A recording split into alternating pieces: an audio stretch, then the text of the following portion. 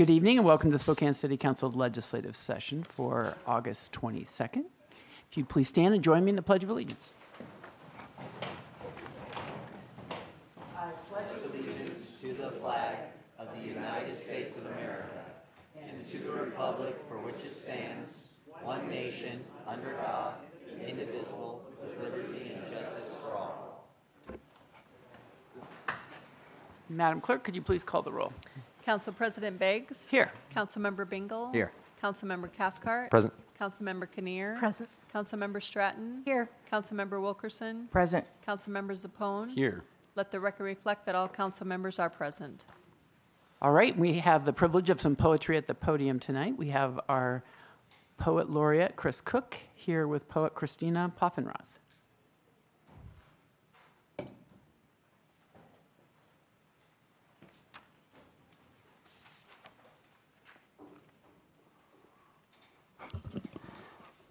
Thank you.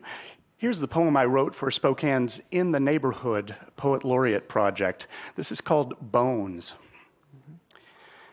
This dog park on Pacific, once a graveyard, is included in the Browne's Addition Haunted Tour, even though the bones of its occupants, immigrant laborers on whose backs the railroad was built, were exhumed and relocated in the 1980s. Yet I know people who still won't walk here out of respect for the dead. As my dog goes back to the same spot to dig, I wonder if their backs are bearing my weight, worry that maybe six feet hasn't always been the standard depth. Here's my fellow Spokane poet, Christina Poffenroth.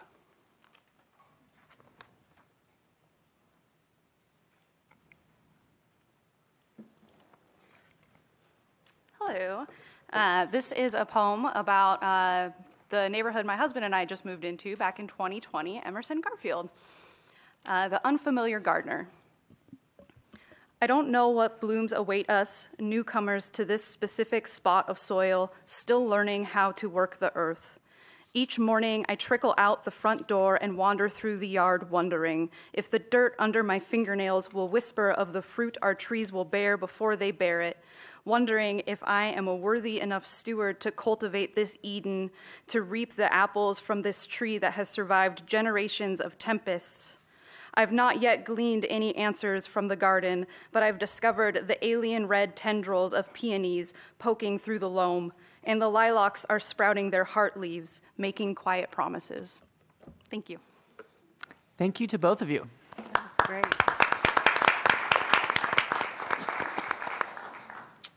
All right, and we have a salutation. Councilmember Wilkerson. If I could ask the Hemphills to come to the podium, please.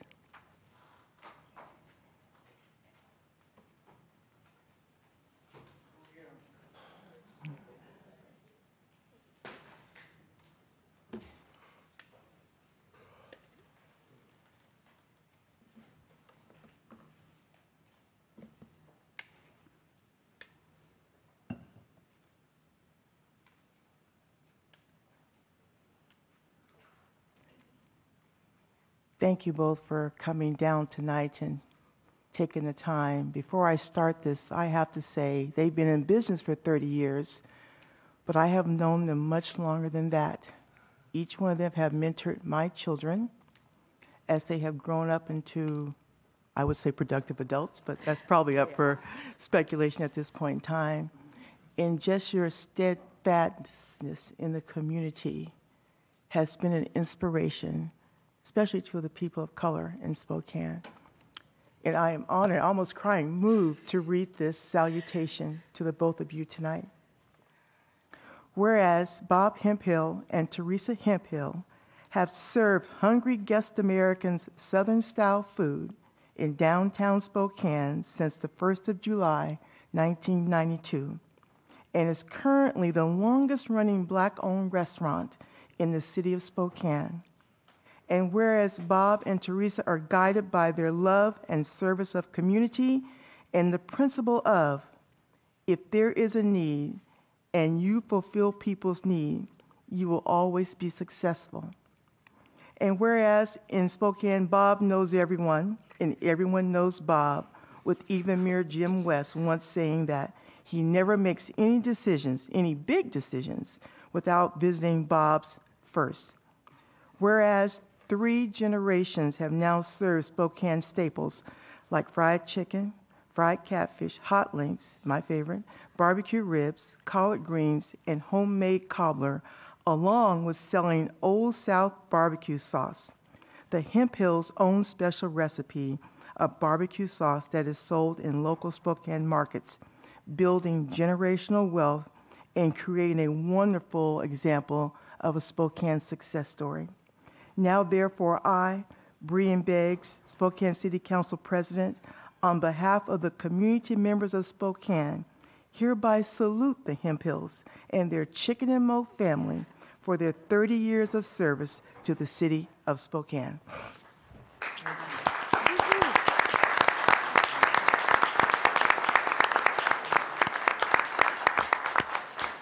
And you can.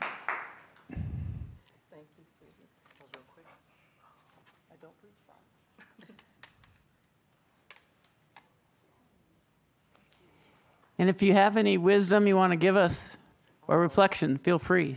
Say a few words. My wife always tells me I talk too long, but I'll cut it short. Uh, this is my beginning here. I started out here when I first moved here 45 years ago. I was a salesman for Montgomery Wards. I was the only black salesman that they had at that time because they didn't think blacks could sell major appliances to white. So they gave me a job, and I was one of the top salesmen they had working there because I knew that if you supply the need of a person and tell them you give them what they want, they'll take it home with them. So it doesn't matter whether you're black or white. It was just supplying the need. Hey, let me thank Spokane for the being the greatest city in the world. Matter of fact, uh, when I came here, I was a mess. And uh, Spokane gave me an opportunity to change my life. And I'm so happy that uh, I moved to Spokane in 1976, and it's been the greatest time of my life.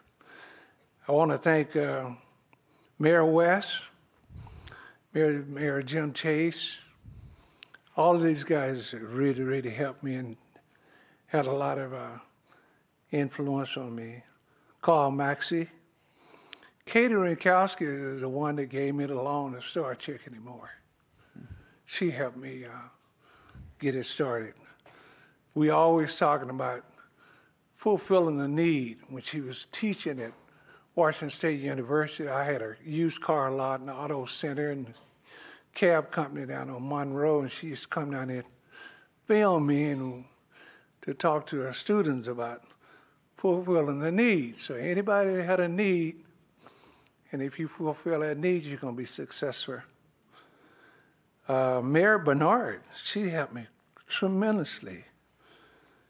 And Mary Vernon, Mary uh, Vernon, she helped me too. So I had a lot of help. I, I didn't do it by myself.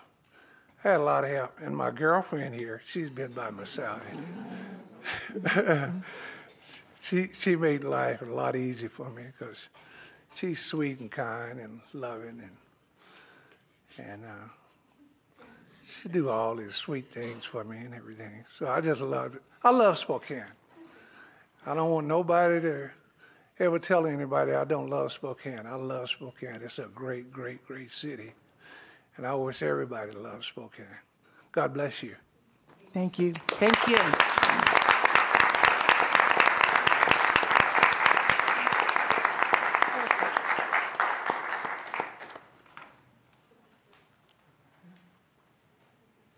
All right. Um, is there anyone here from the North Hill Neighborhood Council? We were going to have a report from them, but I believe their neighborhood chair may have changed. So, last call for North Hill. All right. We'll get them another time. All right, that gets us to the consent agenda. Madam Clerk, if you could read the consent agenda. Reports, contracts, and claims. Number one, Public Works Agreement with Pro Mechanical Services Incorporated Spokane for HVAC replacement at Fire Station 17 from August 25, 2022 through August 24, 2023. $74,500, including tax and administrative reserve of approximately 10% to cover potential price increases that may occur between the bid date and council approval. Number two, contract with Environment Control of Spokane, Spokane Valley, Washington for janitorial services at five fire department facilities from July 1, 2022 through June 30, 2025, $64,027 annually, including tax. Number three, accept grant funds from the Washington State Criminal Justice Training Commission as part of their dynamic, diverse, community-oriented police force recruitment and retention program, $54,450, relates to Special Budget Ordinance C 36256. Number four, accept grant funds from the Department of Justice's Office on Violence Against Women Firearms Technical Assistance Project Pilot Sites Initiative. $499,833 relates to Special Budget Ordinance C 36257. Item number five, memorandum of understanding with Spokane County to apply for and split the fiscal year 2022 Edward Byrne Memorial Justice Assistance Grant Program.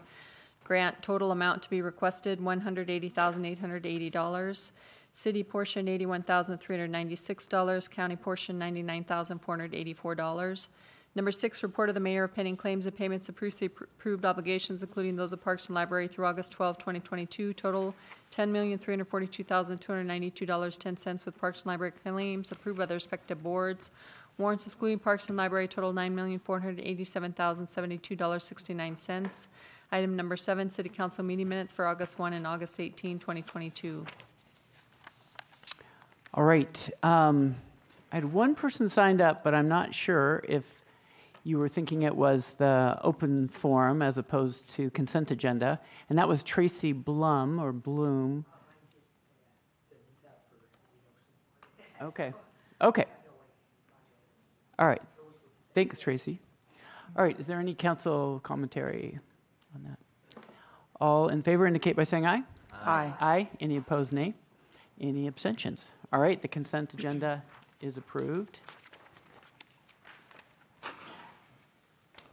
And that gets us to our first special budget ordinance.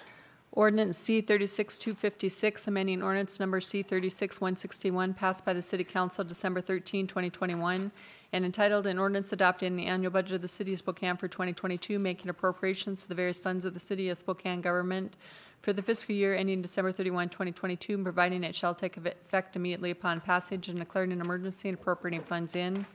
Public Safety and Judicial Grant Fund, number one, increase revenue by $55,450.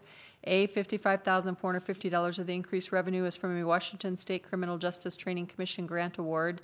Number two, increase the appropriation by $55,450. A, of the increased appropriation, $6,000 is provided solely for a targeted social media campaign. B, of the increased appropriation, $35,450 is provided solely for recruitment trips and travel. C, of the increased appropriation, $14,000 is provided solely for a general media campaign. This action arises from the need to reflect newly awarded grant funds to be used to increase the department's hiring and cru- recruiting activities. All right.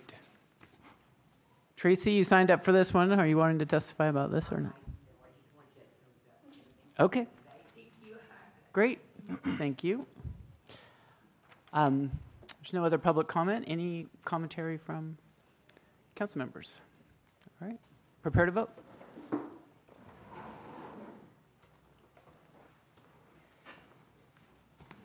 All right. That passes seven to zero. Ordinance C 36257, Public Safety and Judicial Grant Fund, number one, increased revenue by $499,833. A of the increased revenue, $499,833 is from the Office on Violence Against Women as part of the Firearms Technical Assistance Project Pilot Sites Initiative solicitation. Number two, increase appropriation by $499,833. A of the increased appropriation, approximately $156,000 will be used to fund a F-TAP coordinator. B of the increased appropriation, approximately $86,000 will be used for training. C of the increased appropriation, approximately $257,833 will be used towards overtime and creation of an on-call responsive advocacy response. This action arises from the need to reflect newly awarded grant funds to be used to establish a multidisciplinary management team to develop and implement strategic plans addressing firearms restrictions and domestic violence cases. All right, thumbs up again, Tracy? Okay, great. Any council commentary? All right, prepare to vote.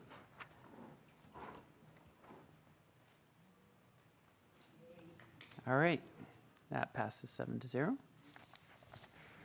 Ordinance C thirty-six two fifty-eight, Public Safety and Judicial Grant Fund, number one, increased revenue by forty-eight thousand seven hundred seventy-six dollars. A, forty-eight thousand seven hundred seventy-six dollars of the increased revenue is from a Washington Association of Sheriffs and Police Chiefs Grant Award as part of the Washington Auto Theft Prevention Authority Program.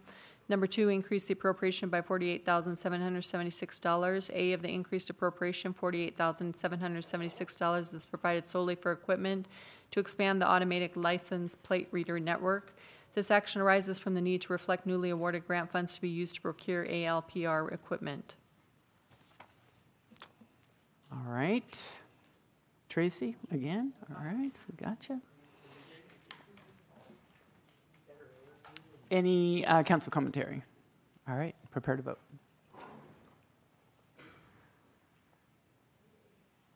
All right. Seven to zero. Ordinance C thirty-six one ninety-three, forfeitures and contributions fund, number one, increase appropriations by one hundred seventy-five thousand dollars. A of the increased appropriations, forty thousand dollars of the increase is to be used as confidential funds used for controlled purchases of illegal substances. B, one hundred twenty-five thousand dollars shall be used to fund a request for proposal to nonprofit entities that provide at-risk youth services that will support prevention of drug use and drug crimes using peer support and leadership from individuals who have successfully exited criminal justice involvement.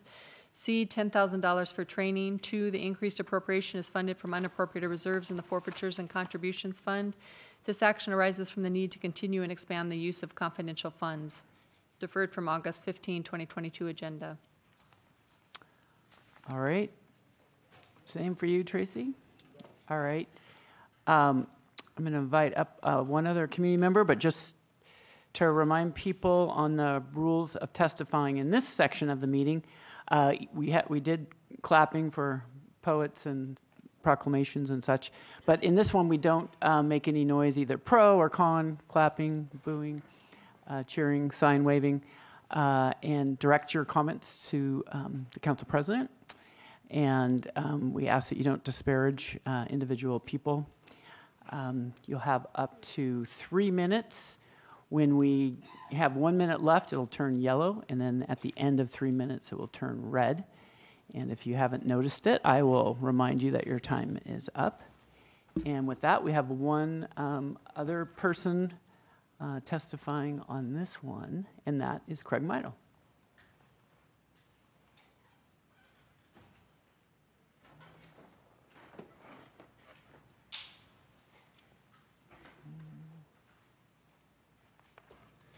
Good evening, Council, Council President, members of the council. Um, Craig Meidl, Spokane Police Department.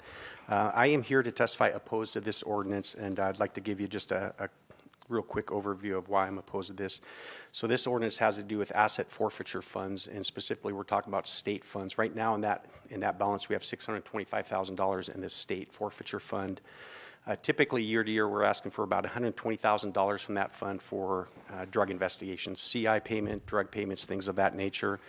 Um, We also uh, try to replace our undercover cars out of that budget as well. It used to be, you could buy an undercover car for about 25000 Uh, Fleet has apparently told us you're not going to get a car worth buying at 25000 with the nationwide trend we're seeing with vehicles. So each car that is, is worthy enough to buy to replace a current car is going to be about 40,000. So if we try to keep a rotation going of our undercover cars, you're talking three cars at 40,000. That's another 120,000 on top of the seizure money. if we, if we go to this youth intervention program, and let me be very, very clear, I am totally supportive of youth intervention. I think it's a very noble cause, but I also know we are seeing a huge increase in drug overdose deaths. Fentanyl and meth is still a close second as well. When you look at uh, what the what our, our remaining funds will be in this a, asset forfeiture account in 2023, if we move forward with this proposal of 125,000 for youth intervention, that will reduce this balance down to 240,000. So that means next year, uh, when we come to the council and ask for $120,000, that will be half of that balance, and then we either have to buy three undercover cars and there's no money for youth intervention, or we do youth intervention. So we will completely deplete this account next year if we move forward with the youth intervention. Uh, I want to point out as well, last year, according to the CDC, there's a 9% increase in national overdose deaths. In Washington State, there was a 26% increase in overdose deaths in Washington State, almost three times the national average. So we do not want to drain this account. We have been, try to be good stewards of this account. Every year, it's inconsistent how much comes in. We can't rely on this money. Some years may be, may be bigger than other years. Uh, in the process of being good stewards as well, and we've had to turn down numerous requests for training, for equipment, and et cetera, to make sure we keep a fund in here. And I'm going to go super quick since I see my time's running out. But here's just one request from one precinct. This is the downtown precinct for training.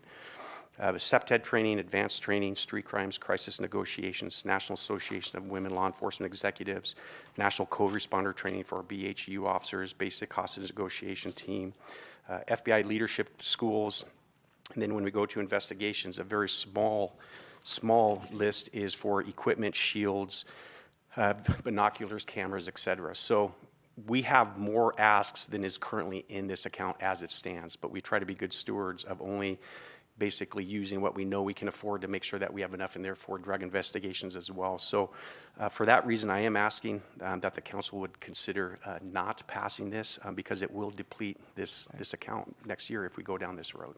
All right. Thank you. Thank you. Thanks for coming down. Council President, Yeah. can I ask a question of the chief? Well, can we move to extend his time, first of all? So we could ask questions?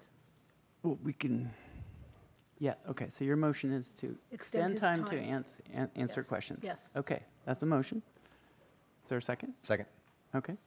Any discussion about, Can we, can we just call him up without having to extend his time? well, th- well, he's testifying as a witness, not as a, in an Okay. official. He's testifying in his personal capacity.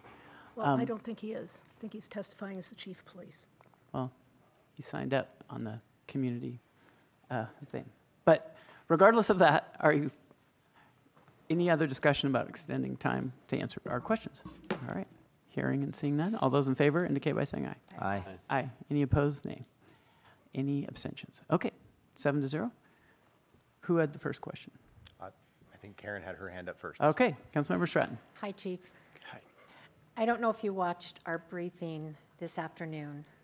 We had this discussion as we were going through the agenda items. And one of the um, glaring things that, that um, came to me during our discussion of this was that we really all want the same thing. Um, And there seems to be some frustration that we just never have the time to have the conversations and to get the information um, provided to us um, to make good decisions and to support um, you on this. So my question is, if you would support a deferral of this and then we set up, maybe it's a a full study session with you, with your officers that deal with the drug patrols and all of that. So we have a better understanding. I mean, you brought up so much that, uh, you know, youth intervention, drugs, death, fentanyl, overdose. Um, You know, there's the costs. And I'm just thinking, I think we would be better representatives of the community if we were all to sit down in the same room and have a Q&A and educate us so we can make a better decision on where this funding, you know, that we could agree on where this funding could go. And I just wanted to see what your level of um, support of just deferring it and then getting something set up where, and maybe make that a, um, a, you know, a routine quarterly issue, you know, where quarterly we have an issue that's important to the police department and you know this, this stuff is coming up and how do we sit down and get it out there on the table and talk about it so we know we don't have to keep deferring things. Yeah, absolutely willing to. So um, for the last two years, we've asked for $120,000 uh, for drug investigations. We've been given 80. So you figure that 80 gets us about two-thirds of the way through the year. We're bumping up against that of running out of uh, the funds that we use for drug investigations. If we are asking to extend this out another month, um, I think we could probably uh, use what we have left in that, in that budget right now, and I don't have that number in front of me, And then we could probably find another way of, of trying to ensure that we can continue those investigations until we can get that other 40,000 approved. And just kind of get us all on the same understanding, Sure, same plate. And we can, there's time on, I think, on public safety this Monday. If study session isn't available, we could And do that. Maybe we could work with um, Hannah Lee to see where we can, where we can get it in soon, so we don't keep this going on forever. But I just think it's a shame if we don't take advantage of, of the time to just kind of get our questions out and make sure that we know, um, you know, where the most need is. I would love to. Okay, so I would, oh, I'm sorry. You can still make your motion. but- So I would like to make a motion that we defer it um, and that we set up some time in the next week for either a study session or a committee hearing to just sit down and hash through this so we get a better understanding of what all this involves. Okay, thank you. Would I'll that be second. the, uh, like the week after Labor Day or? Yeah, could you go that long, the week after Labor Day? Okay, That's the 13th, the 13th of September? The 12th. 12th, sorry. I will second. Okay. So motion to defer to the 12th, second. Further conversation, including Councilmember Brinkley. Yeah. Have, has a presentation been made on this to us before? We, we have had conversations um, briefly at public safety. There's been a lot of email communication back and forth on this as well. Um, So as far as any kind of robust discussion uh, down to this level of detail, I, I don't think that's, ha- that has occurred. We have met, we did meet with Council President and uh, Councilwoman Kinnear probably a month or so ago to discuss this as well, but I don't, that wasn't inclusive of all the council. Uh, do you know how many times this one's been deferred? I do not. Okay. I know it's been deferred um, uh, quite a bit, and um, I, I understand deferring to make sure that we get it we get it done, and I, I totally get it. Um, you know, uh, with with a deferral, would you see yourself or your department approving the hundred and twenty five thousand dollars for youth services, or in your opinion, is that um, um, is that money found better found elsewhere? That, that's a fair question. So regardless of whether we deferred or not, um, the, the information and the amount that is in that balance right now, it won't matter whether we deferred or not. It- We will deplete this, our entire asset forfeiture account uh, next year, and we will have no, we have no guarantee of what comes in next year. It could be, it could be fairly significant, it could be almost next to nothing. And uh, obviously, because we've made great effort to try to keep enough in there for at least several years, um, I couldn't in good conscience agree to that. I- It would just be, it would, draining the account to me would be, on my part, I feel like I would be reckless if I agreed to that. Yeah. And uh, what are these funds established? Uh, what is the purpose of these funds? Um, There, there's, there's a list of different things they can be spent on. Um, You know, when you, the way I read it, it looks like it's primarily for law enforcement, drug investigations. I think there's a reason why the statutes require the chief of police to, to agree with whatever they're spent on. To me, that is an indication that when the legislators crafted this, they wanted to make sure that the police department was able to look at what do they feel their priorities are in helping to address the drug issues that we have. Mm-hmm. Again, that's my interpretation. How many other municipalities require city council oversight for their forfeiture dollars? Uh, In the state of In the state of Washington, Washington. of the probably 280-ish, uh, none that I'm aware of. Okay. So it- this is somewhat of a unique situation where city council has to approve those. There is oversight on these dollars outside of city council, is that correct? That's correct. Okay. And who, who oversees that? So in order for a seizure to go through, uh, there, it has to be signed off by the prosecutor's office, and then these funds also get audited uh, frequently to make sure that we're spending them appropriately. Okay. I, I will not be in support of a deferral tonight, and the reason why is because we have, we have deferred this several times. Um, I'm also not in support of spending $125,000 from this fund towards youth programs. As we discussed earlier, I think that the youth programs are a fantastic idea. We should absolutely be teaching children about the dangers of drugs and how seriously, um, especially fentanyl, one pill can kill. Um, I did a demonstration earlier about how two milligrams of fentanyl can kill somebody. And if you think about a sweet and low packet, you're at a diner, you have some coffee, you take out your sweet and low packet, you put it in there. That's one gram. If you if you just think in your head of how how much is inside of a sweet and low packet or a sugar packet or something like that. That's one gram. That's 500 individuals that would die from that amount of fentanyl. That's how dangerous fentanyl is. Spokane being in its proximity between Seattle and uh, Minneapolis. We are a huge trafficking city.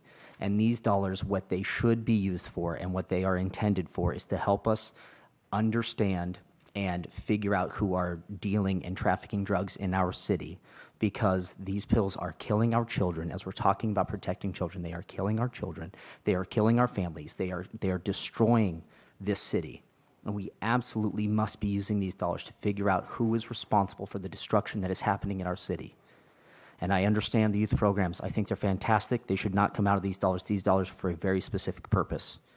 And so tonight, I'm not in support of this.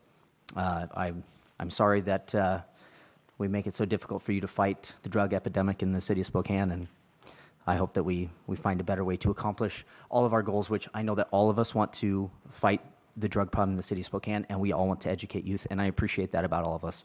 I think this is the wrong way to do it. Councilmember Kinnear and then Councilmember Cathcart. Thank you. I think uh, the reason, I- I'm- don't mean to speak for you, Councilmember Stratton, but I think the reason that we, that Councilmember Stratton is asking for a deferral is so we can all get on the same page, not necessarily that the chief is going to agree with us, but that we can better understand where the- the police department is coming from, and we all get the same information at the same time. And I think that's critical. And I think communication is never wasted. So we absolutely have to have that conversation so that we know we all hear from you the same information at the same time. We can ask questions and just get down to it and find out what are you willing to do, what are we willing to do, and why. And so perhaps it's you telling us, here's why. Because right now I'm not convinced. I, I do want drugs off the street, but I'm not convinced that we can't use, that we can't do both. So if we all have that same conversation, we're likely to get to a good place. That's the reason for the deferral. And my other thought would be, as we, if, if this passes and we do have the group conversation, that it would be a public meeting, so the, the community could listen, could attend, could hear some of these terrible stories. And I mean, I agree, we've got to do everything we can to save lives. But it's just an issue that I, I think requires some elevation and that we're all talking at the same time with each other. Uh, the community can listen in, and so that we all know what what the status is and, and how bad this is, and, and what resources you need to deal with it. I, I think it's a it's a, a good opportunity to do both. So.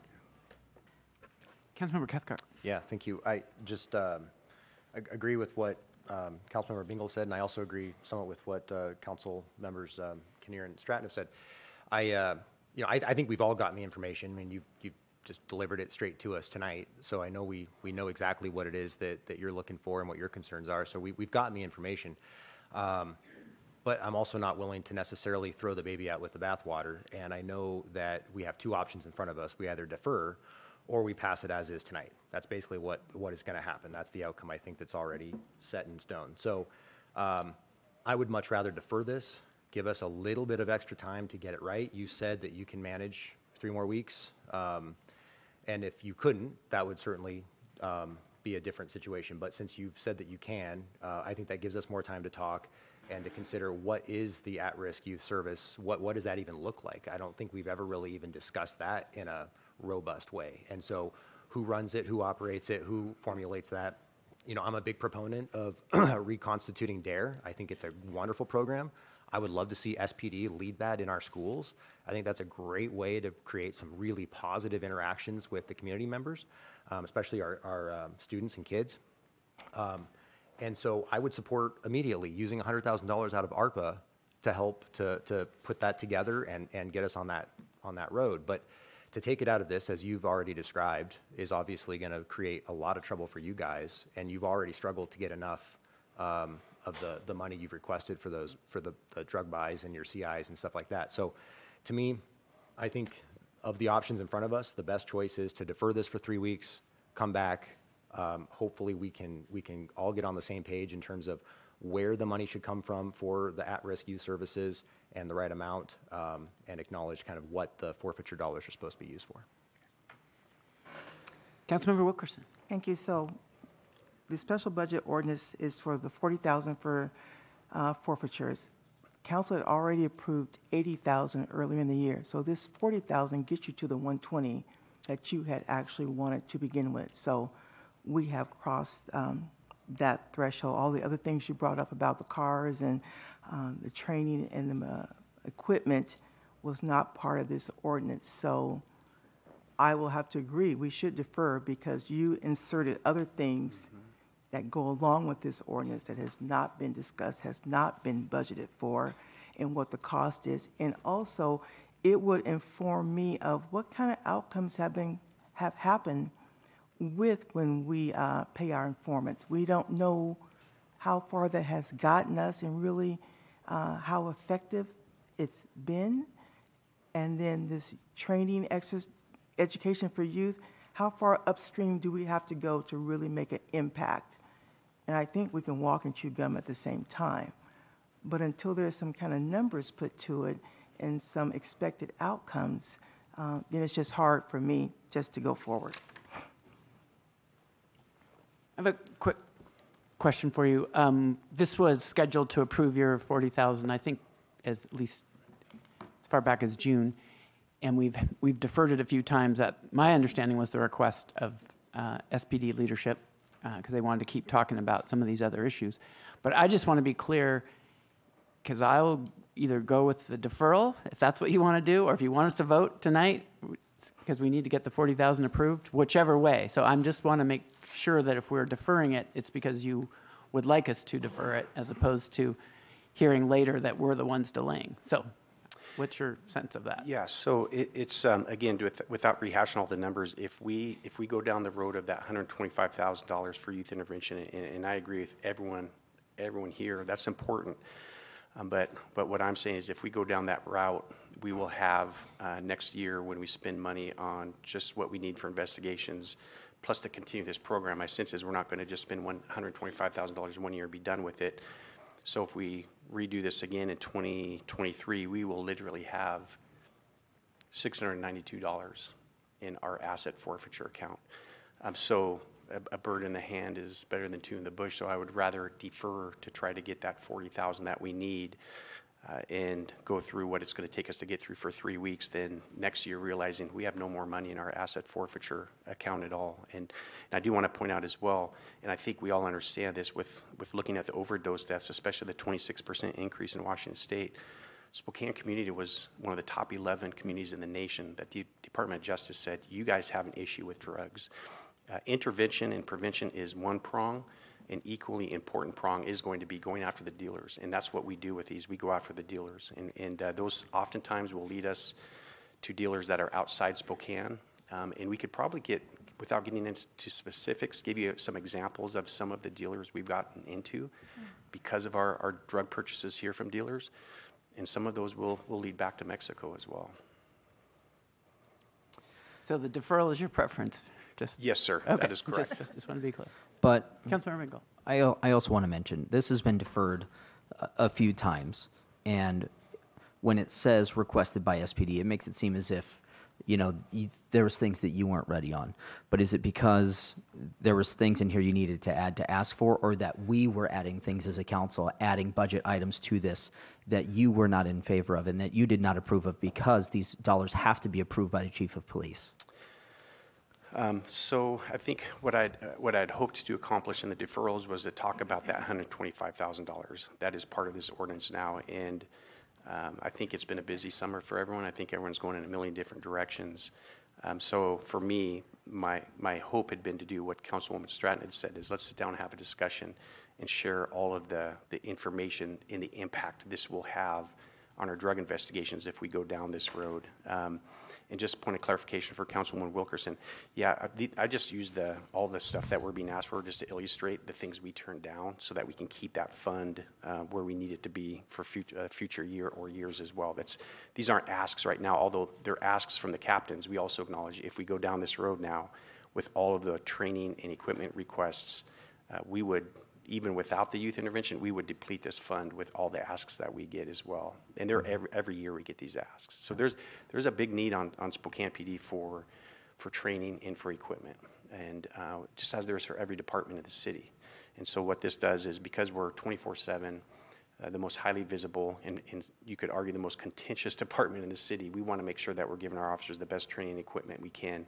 And this helps fill that gap somewhat. Not to the extent that the department wishes we would, but that's where we have to be the ones who say we, we can't afford to deplete this account that much. I'm not sure if that answers your question. I'm sorry. I think it did. Um, I appreciate that. I, I would just also like to highlight um, a member of the audience, Mr. Bill Hislop is here. Um, if anybody has any questions on the dangers of fentanyl out, you would like an outside perspective from the police department, Mr. Bill Hislop would be a great resource for all of us on council to be able to understand the, the, the true challenge that we're, we're facing here in the city. And so Any other discussion about motion to defer to the 13th? I'll just say one thing. If this passes, I give you my word that I will work with you and whoever else we need to work with and Hannah Lee to get something set up to give you an idea of what kind of questions collectively we have. So that won't be a waste of anybody's time. It'll be a good discussion and we can move this forward quickly. Excellent. Thank you. Thank you. Yeah, one top of that list is if we could get the revenues from forfeitures for the last five years. Um, because if I calculated correctly, after, if we had voted on this tonight, there'd be $400,000. We already bought the cars for this year. We will have given you everything you wanted for drug buying and informants, and we still would have been able to fund um, the youth programs, which are just one way of addressing the fentanyl that you're so concerned with. So I see us as assuming we kept getting money in. I'm not sure that I see that. So that's what we're really going to want to look at. Um, uh, we have discussed um, the importance of your drug buying funds and youth education as the top priorities, one from department, one from council, and making sure you have a healthy reserve. And I do have a, a proposed ordinance that we're going to brief at public safety on Monday as well. They'll fit in nicely. In fact, we could just expand the discussion on that to all these things because I totally heard from you. You need your 120,000. Council needs its youth education, and we need a healthy reserve so that we're not worried about exhausting things. So, so with that, if there's a vote, all those in favor of deferring? To, oh, Sorry, go ahead. just real fast. You, you've mentioned in the past too that there are some specific, um, like uh, auditing and accounting requirements from the state or the federal government when Correct. you get these dollars. I just, I don't know a lot about that, so when we have this discussion, it'd be great just to have some bullets on that that we high could level. go over. All those in favor of deferring to the 13th indicate by saying aye. Aye. Aye. All those opposed? nay. Any abstentions? All right, six to one. We'll see you on The 12th. Excuse me, I keep saying the 13th, but that is a scrivener's error from my mouth. It's the 12th, uh, from the 12th. So, all right, so that is deferred. Ordinance C thirty-six two thirty-nine, determining the process and criteria for citing essential city facilities, amending section twelve point zero five point zero zero five, and enacting new sections twelve point zero five point zero six two and twelve point zero five point zero six three of the Spokane Municipal Code, and declaring an emergency deferred from August 1, 2022 agenda. And on that one, uh, just if you're watching or you're in the audience, we did substitute that pretty significantly in terms of uh, city utilities. They brought us some concerns, and we accepted all those to make it clear that it's not every pipe that needs a public process. They also want us to change the name instead of essential public facilities to basic city facilities because of the Growth Management Act and confusion on that. Also, city legal wanted to make it clear that there's nothing in the ordinance that gave someone an extra right to sue the city. They would just have the same right to sue the city for enforcing the law that anyone al- would always have. So those were a few um, changes, and they were only adopted not that long ago, so they're not online. But with that, we have several people who have asked to testify, and we'll start with uh, Mayor Nadine Woodward. And after uh, Mayor Woodward is Earl Moore and then Rick Bocook. And again, we have these two seats up here that people can start filling in when I call your name so that we can minimize the transit time and uh, maximize the testimony time. Thanks, Mayor. Okay, thank you, Council President and members of the council. Uh, I am joining many, many community members here tonight in opposing your sitting or citing city facilities ordinance. Uh, This legislation is dangerous, it's retaliatory, it continues a consistent attack on the independent authority of the office of mayor, specifically the authority to run the city operation as defined by our city charter. This latest council action is a direct response to my decision to open a police precinct in the former East Central Library. That decision followed extensive community outreach that began with a request from the Martin Luther King Jr. Center, which shares a parking lot with the building. The effective date for enforcement of this uh, ordinance was purposely selected to retroactively include the opening of the police precinct nearly 60 days ago. It was you, City Council, that led a significant portion of the community outreach that showed overwhelming support for officers moving in. And now you are disregarding the feedback that you received. You launched a thought exchange survey last December, with one council member even saying it was the perfect tool to engage our community. More than 600 people responded, and the majority favored a police precinct in East Central. Thought exchange is a perfect tool unless you don't like the results.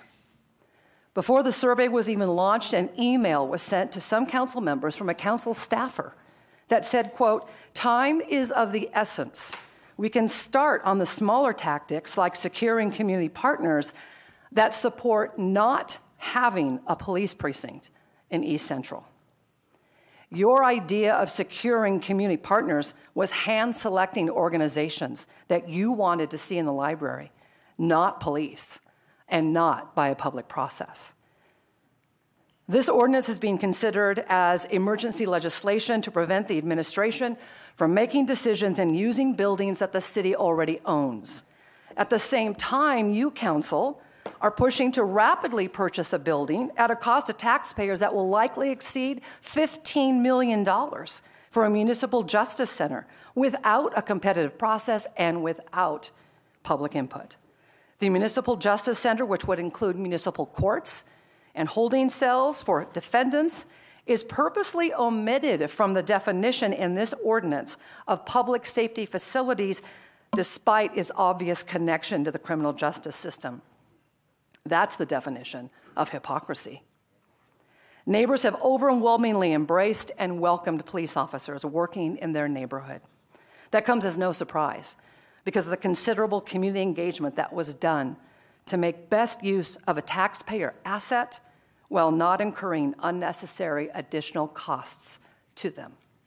Thank you. Thank you.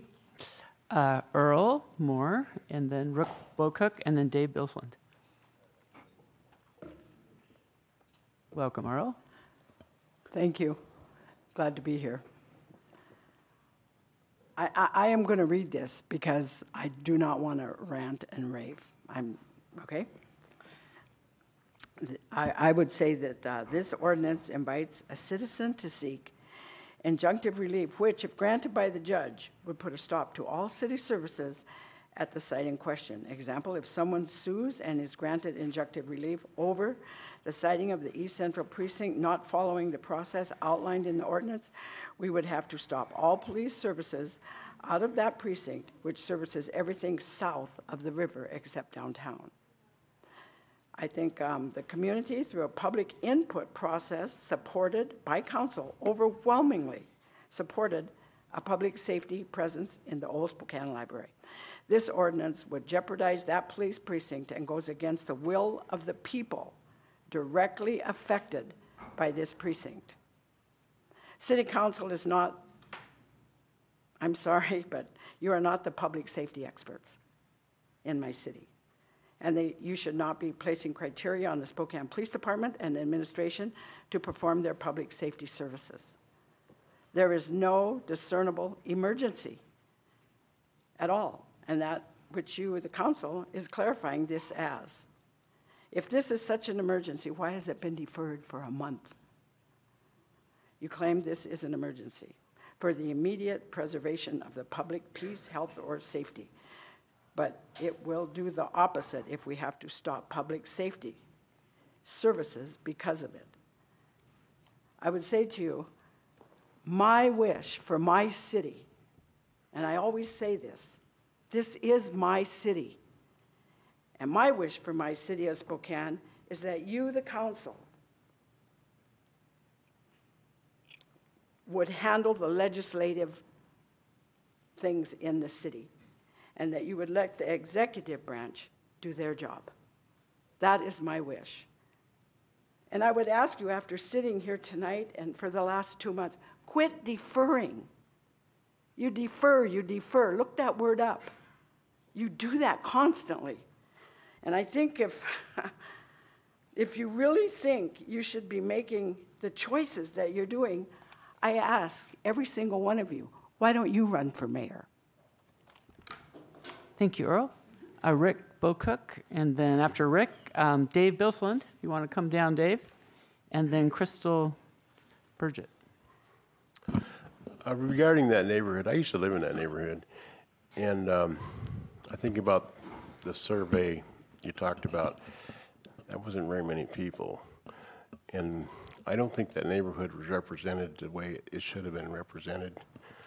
I think there's a lot of people over there that lack trust in the city, and I don't think they were reached out to strong enough.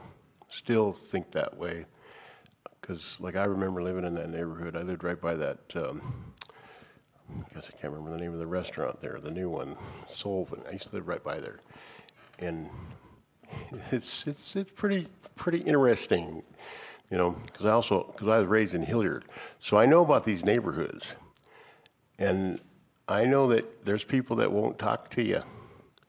So, and that's the part I don't think people are seeing. They reached out to people that they would talk to, but not everybody talked to you. And I think they should have had a, I don't know, they should have maybe went to people's houses, talked to them directly, get the door slammed in your face a little, you know, so you can see. Having the door slammed in your face, why people won't think. I don't think that was done enough. I don't think enough doors were slammed in your face. Thank you. Thanks, Rick. Uh, Dave Bilsland. After Dave, uh, it's Crystal, and then Tracy. Good evening, folks. What we're looking at here is changing things to be more sensitive, like putting a police station right across the parking lot from a food bank. You know, you know how many people who are not going to go to that food bank if you put that police station there? Quite a few. Why? Because the police in Spokane scare people, especially poor people. And who goes to food banks? Poor people. Except when you put a police station across the parking lot from it. You're going to make people go further to go to one because this one is going to be poison. Because there are cops right there. You know how paranoid we are when we're poor about getting busted? You know how much that costs that we don't have? Well, all you're going to do is put people at risk of getting busted. That's the way they see it. That's why I say it's insensitive to put a police station in the same parking lot as a food bank. Let's rethink this. The crime doesn't happen at the food bank, it happens down on Sprague. Crime, anyhow. How many, what's it take for people to understand that? Thanks, Dave. And then um, Crystal. Hello. You've got up to three minutes. Hello, I am Crystal Yoskoson Burgett. I'm the co founder at Mac Movement, working mother of three, and I'm currently residing in District 2. I'm coming to you today to ask you to pass this ordinance. As a, res- a resident in District 2 and a neighbor to the East Central Library, I would like there to be a broader scope and a community input moving forward for citizens, our leaders, and the needed facilities in discussion here today. I'd like for us to collectively decide the outcome of our public spaces now and in the future. Personally, I would love to see the Hispanic Business Professional Association, but I'm open to ideas brought forth by our neighbors. There's more voices here than the police and our mayor. A reminder that they, as well as all of you, work for us, the people. At some point, we have to do more to dismantle the walls between us, and this ordinance is a step in the right direction. Thank you. Thank you. Tracy, are you going to testify? Okay. And after Tracy is going to be Frida Gandy and then Laverne Beal.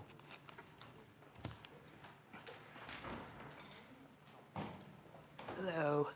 Um, um, I just, I'm, I'm a grandma again. Um, several, all my kids are grown now, and I've been in this town since '86 officially, and so um, this is where I lay my head is home, and I'm planning on moving out to Medical Lake type thing, but um, I do not feel safe in the city. Um, it's very dangerous, and a lot of these places are not up to code. So I think we should all live, you know, under Washington, Spokane, Washington, you know, um, together and stuff, and um, hopefully at peace.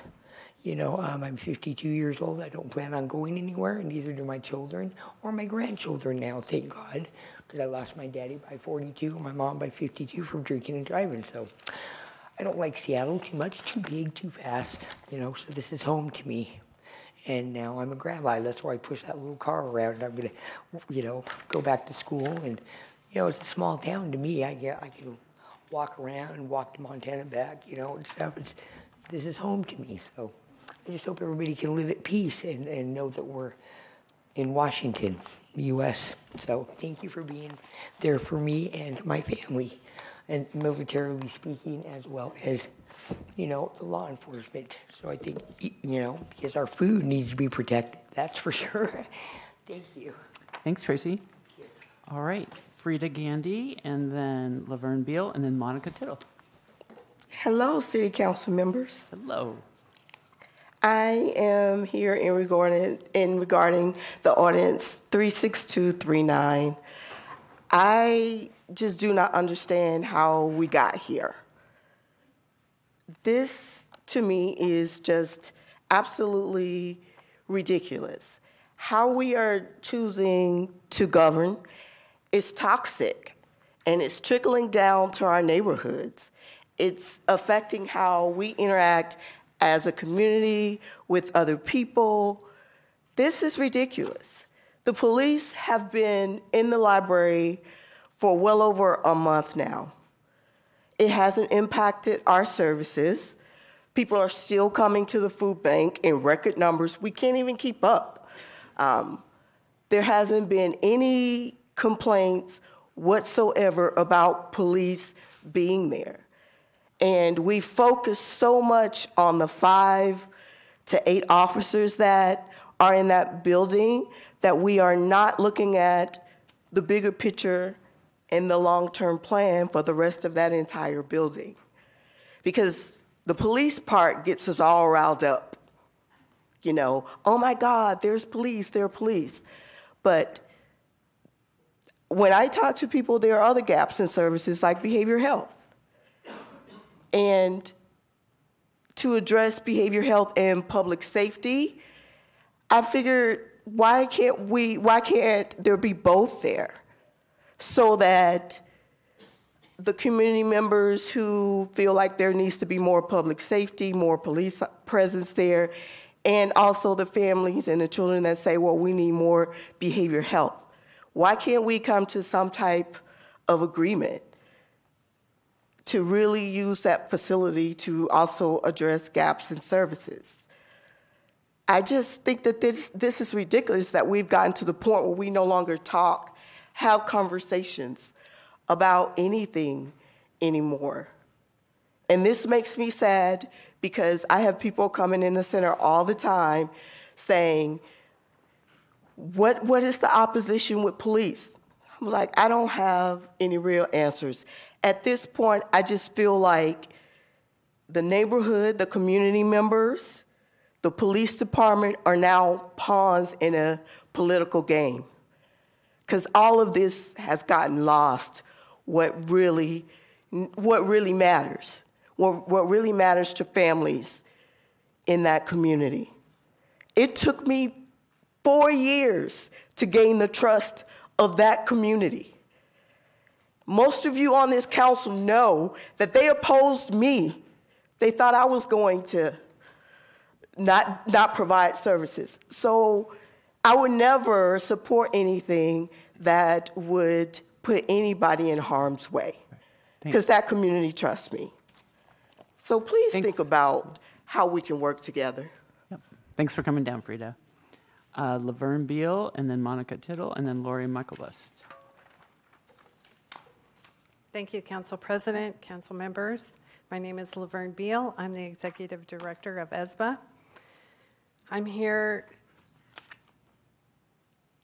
I'm here to support the police precinct at its current location, and I oppose this ordinance.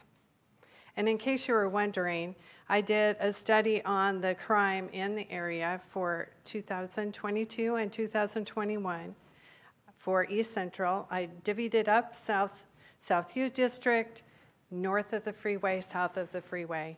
And the south of the freeway has increased 100% in their crime stats for the, for the month of July. For June, it increased 45%. I support that that the police precinct where it's at. And in case you were wondering, at such a time as this, Spokane should be transforming, be a transforming example. We should be examples of reconciling our current political divide. We should have leaders who look beyond personal stances. Instead, we need leaders who look to protecting our citizens who are in distress and in harm. We need to lead, be led by example. We are in desperate need of strengthening and supporting our citizens and the mayor's office. I am disappointed that these objectives are not discussed or even acknowledged. I am disappointed that our East Central neighborhood is used as a doormat. I am disappointed that East Central's hardworking, hardworking people and businesses are discounted and minimized. I am disappointed that our City Council does not acknowledge this. I believe I'm not the only one who is disappointed. Please consider your heart and remember the relationship is more important than politics when you vote tonight. Please don't disappoint East Central at such a time as this. Prove that you care about our relationship. Again, thank you for listening. Now we need action at such a time as this. Thank you, Laverne. Is Monica Tittle here? Not seeing Monica. All right. Uh, Lori Michaelbust. And after Lori is Michael Brown and then Bill Hyslop. Good evening, City Council. I'm Lori Michaelbust, and I've lived in Spokane for 62 years. We have an effective Spokane Police Department. I'm told that their East Central precinct has been in a dilapidated upstairs location which isn't sufficiently heated or cooled and isn't appropriate for a police precinct. Tonight, our police department is telling us that they favor their new precinct location at its current location in the former East Central Library. I urge you to listen to them. Don't ignore the very police officers and department you should be supporting do their jobs of protecting us all. Give them the resources to do their job. Give them the working conditions that are conducive to protecting our neighborhoods and our citizens. I'm told that the city doesn't have the funding to build a new precinct building. At the same time, we have vacant city-owned facilities which the mayor and the police department say are very suitable for the East Central precinct. Let's use the former library. Let's use our existing buildings located in the East Central area. Please don't hamstring the police when we already have a building like the former library, which is suitable for the precinct headquarters. I'm very worried about the rise in crime we're seeing in Spokane. It's shocking. Sadly, this ordinance only makes it much harder to solve the city's facility problem. It creates roadblocks to our moving forward. It shows disrespect for our mayor and our police department and for the work they do to protect us all. Having the city council make all the decisions about the location of all major facilities isn't the role of the city council. But more importantly, support for this ordinance shows disrespect for the citizens of Spokane. Why won't you listen? Why do you put this on the city council agenda, change it in the minutes leading up to tonight's meeting, and then claim there's an emergency that justifies your moving forward with little input or review? It's frustrating to see you act in this manner. It's as if you don't care and you're determined to substitute your judgment for the police and the community.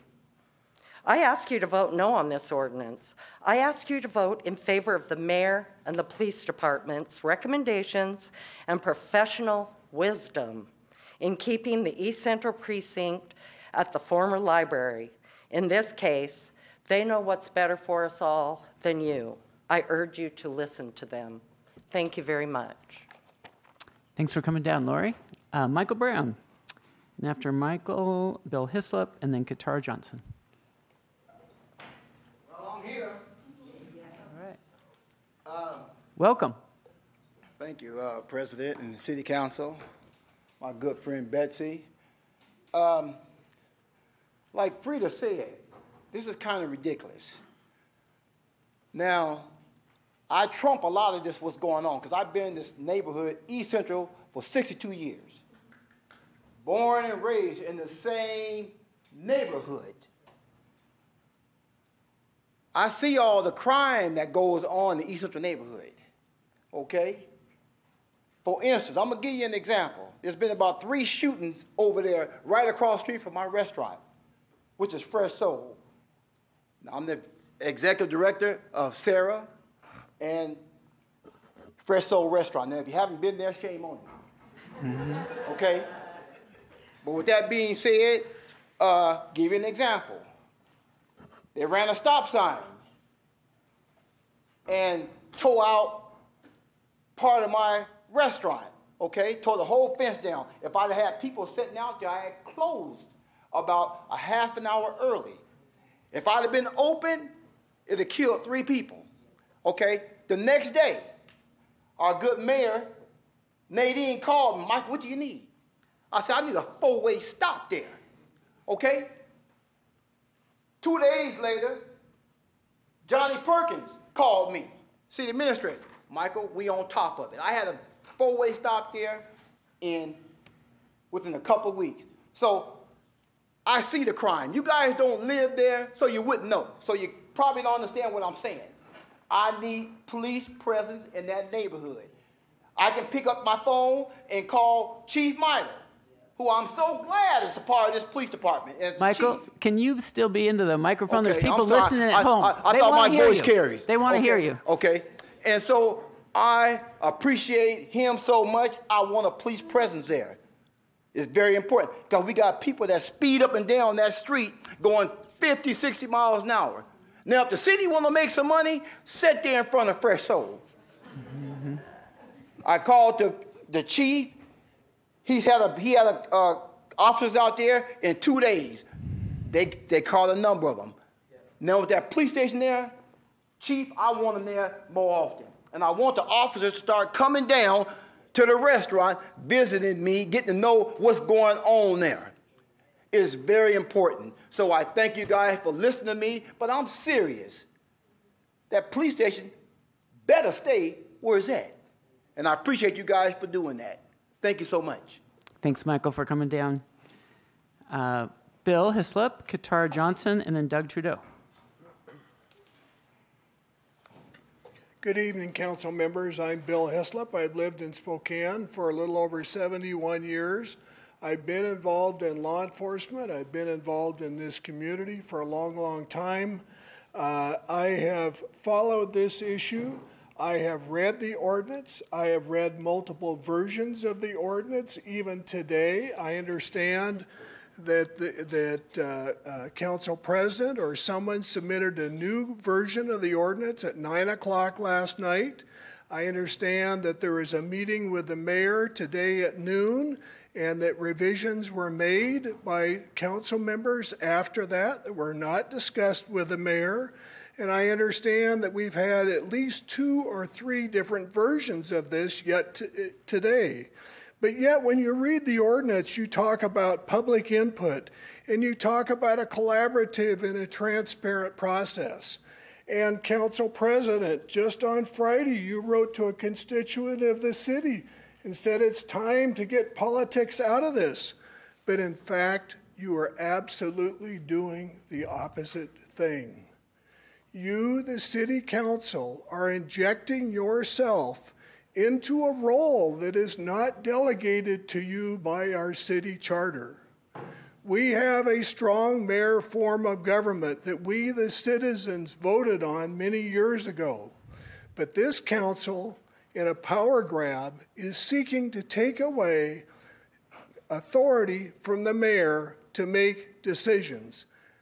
Council members, in all due respect, that is not your role as the legislative body of our city under our city charter. In addition, when you look at this ordinance and you look at the process that you have laid out, there is nothing there stated about utilizing or taking advantage of existing city facilities. All it is is about getting input from the community. And you have heard tonight that there has indeed been substantial input gathered from the community. Now, while you may feel it's not the input you want, nonetheless, there is input. There are other provisions here. Why are you inviting lawsuits by even including the lawsuit section in this ordinance? Why are you asking the City Council's Equity Subcommittee to make recommendations to you about what is the best location for financial sustainability of the location? That is not their expertise or their ability. Why have you laid out absolutes in the criteria here, but nowhere in this ordinance have you said anything about protecting the safety and security of this community? This is a bad piece of legislation. It's being rushed through as an emergency when there is Bill, none. you're- you're well I past your ask time. you to vote against it. Thank you, Bill, for coming down. Katara Johnson, and then Doug Trudeau, and then Eric Olson.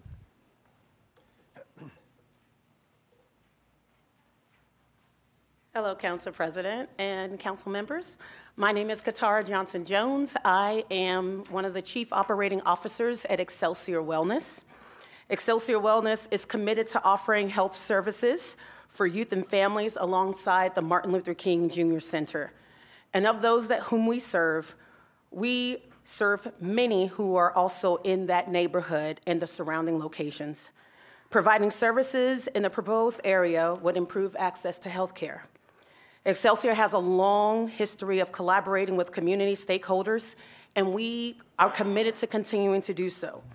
We are willing to continue to be collaborative with the City of Spokane, the MLK Center, and all those committed to the health of our city. If COVID has taught us anything, it is that we are only as healthy as the least healthy in our community. Thank you. Thank you, Katara, for coming down. Doug Trudeau, after Doug, Eric Olson, and then David Staben. Hello. Welcome, Doug. Hi, Council President Beggs, council members. My name is Doug Trudeau.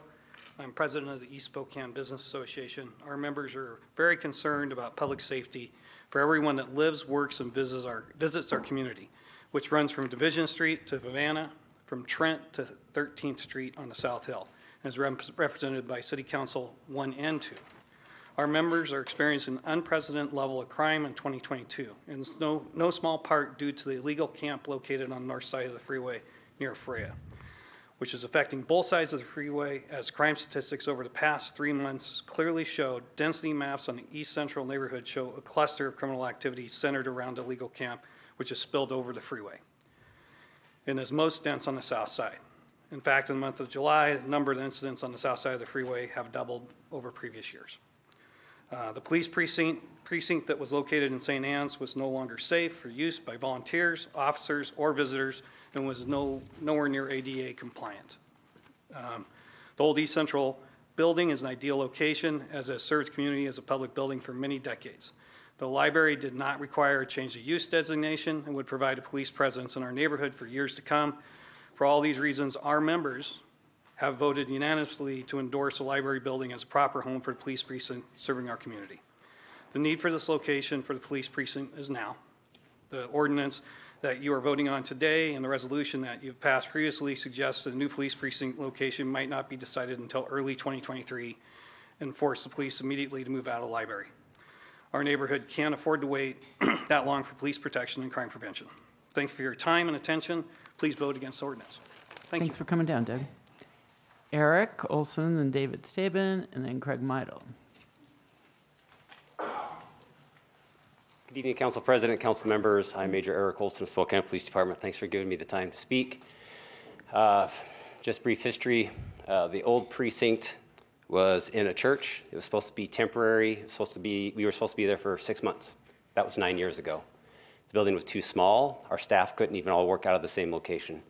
There was heating problems. There were times where we actually had to move the staff out of there because it was 50 degrees inside and you can't have employees working at a desk in 50 degrees. In the summer, the cooling was window air conditioners, and if you put too many plugged in and turned on at the same time, it would blow the circuit. There were extension cords running across the hall. There were electrical issues in addition to that. The building was not conducive to what we need. Plus, you really couldn't find the building. The public, it was not publicly accessible, not readily identifiable by the public to walk in and speak with a police officer. There was no meeting space, and it was unsafe. There was no controlled access, no secured parking, and limited video surveillance. It was an inadequate facility for the police department's South Precinct. The new location is city owned, so there's no purchasing of the building, there's no ongoing rent. It's an on, an arterial, it's easy to find and identify, and has high community visibility. Has large, it's a large open space that will be used for precinct staff, cops, and potentially mental health care partnerships. We will be looking at how we structure. It's a big open room right now. And as we restructure our patrol division, as we've communicated with the council prior, we'll be looking at housing different officers there and potentially having roll calls, which this large of a space would be able to facilitate. The improvements made to this property would be something that the city would own because it's a city-owned building. It's directly and easily accessible for ADA compliance. We actually have cops volunteers that would not volunteer because they weren't able to get up and down the stairs. But I think one of the easiest and biggest parts that I would like to speak to is the fact that the community supports it. This gives the police department opportunity to be next to community hub. It gives us face-to-face interaction with the public, and that time gives us the ability to build relationships, and that relationships really equate to trust. And that's what we're looking to build with our police department and our community is to trust and to make that community safer. Thank you. Thank you for coming down. David Staben, after David, Craig Meidl, and then Jack Archer. Good evening. My name is David Staben. I am the South Precinct Lieutenant. I was uh, uh, took up that job in June of 2021 in the old St. Anne's Church uh, nunnery. Um, everything that uh, Major Olson said about that location is accurate. During the time that I was there for uh, around a year, I'm not aware of one citizen ever coming into the Old South Precinct at the at the church. I moved the South Precinct um, to the old library at the direction of uh, the executive staff.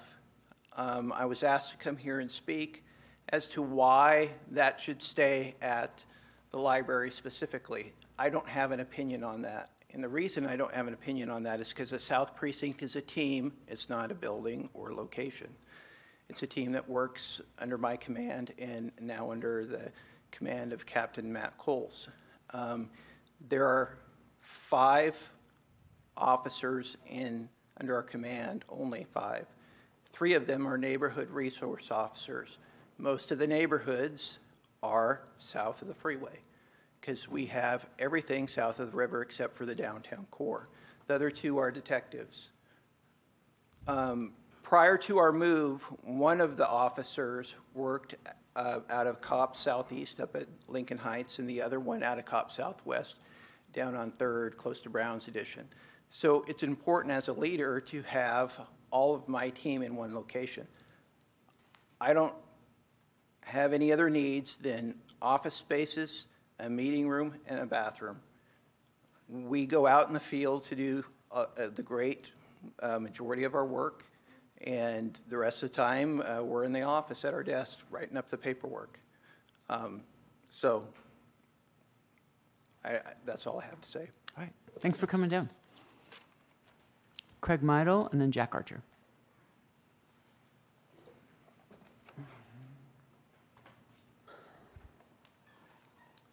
Good evening, Council President, members of the, the City Council, Craig Meidl, Spokane PD. I, I will absolutely not be redundant. I, I just do want to point out a couple things. One is, um, I know you heard from Michael Brown, um, who owns Fresh Soul. You've heard from Freda Gandy. Also, Larry of Larry's Barber Shop. Um, all three pillars in that community. Uh, they're very vested in the community. They're very well known in the community, and uh, they have a, probably more contacts in one week than, than we would have in a year with that community. And you heard their support. And I think it's fair to say that they represent what the overwhelming majority of the community is going to want just because of the sheer nature of where their businesses are located and the type of businesses they have and the types of people that they talk with. And, and so I will acknowledge there's always going to be uh, people that may not want us around. If you're looking to victimize someone else, you're not going to want us around. Um, and there may be a few other reasons that people won't want us around, but, but we're there to connect with the community. Um, I, I, think uh, Larry of Larry's Barbershop said it, said it better. We have police presence in other communities. Why don't we have one in East Central? Um, and so I just want to reinforce that that we did we have spoken to who I would call uh, many of the pillars in that community, and they have overwhelmingly said without hesitation they're supportive of the precinct there. So I would ask you to to ensure that uh, whatever happens, we get to keep our precinct where it's at. Thank you. Thanks for coming down, Jack Archer. Hello. Uh, my name is Jack Archer. I lived in District 2, and I am testifying in favor of this emergency ordinance. I'm here in two capacities. First, as an organizer for the Peace and Justice Action League of Spokane and Spokane Community Against Racism, two organizations that were actually requested by members of the East Central community to bring attention to the process around this issue. I actually got this shirt from one such community member, and for the visually impaired, it says, Rebuild East Central, nothing about us without us. Uh, it's a gift from someone who lives in, who is invested in this community. I'm also here as a voter in District 2. I remember when the old library became open. I remember the excitement of this great new resource coming open in the district. And I remember the confusion that suffused the whole process around it as organizations submitted blueprints and letters of support, only to discover via press conference that the Woodward administration had already blessed a plan to give the location to the SPD. There was no communication. Also late to know was my own council member who, far from being unengaged, had publicly requested multiple times a conversation with Mayor Woodward and got crickets. That doesn't build relationships, and claiming to value conversation and relationships while stonewalling council members who literally live in the neighborhood they're discussing is, well, hypocrisy. Ultimately, many people. I'm skipping a piece here. Pardon me as I read here. Uh, I found that whole process to be disrespectful to the council and disrespectful to me as a voter who voted for my council member to represent what happens in the district where I live. And as a voter in D2, it disturbs me that my elected representative could be so easily cut out of conversations directly affecting the place in which she personally lives. Ultimately, many people who should have had a voice in the fate of the old library felt uh, left out or unheard. And I know because over 50 of them showed up to do different demonstrations outside the library to say so. As for the extensive community engagement, people keep saying, quote, the community supports the district, but the community is large and no one who has testified, myself included, can speak for the majority because we simply do not know. The thought exchange uh, that was conducted, only a third of those responses can be verified as coming from within that district at all. And the word cloud and the responses that I got to view personally when the data was pulled show that while police appeared in a large majority of responses, it came in a variety of contexts, some for or against it, but ultimately, None of that is the point. This ordinance isn't about public safety. It's not public safety legislation. It's about community resource management, which is precisely what I voted for my council representative to legislate whatever the old library becomes behavioral health, a cultural center, or a police station Spokane deserves an inclusive, collaborative, and transparent process for deciding the fate of community resources. And that is what this ordinance gives us. It brings us back into the conversation instead of pronouncements coming from a mayor's office. Thank you. Thanks for coming down, Jack. And that's the end of um, public comment. I'm going to start us off because I'm one of the sponsors of the ordinance, just to set the table of what the intent of the ordinance is and is not. Under the city charter, the city council does set policy for the city, and it does do the budgeting, and it passes laws, and this is a law, so it's right within our wheelhouse of what we're up to.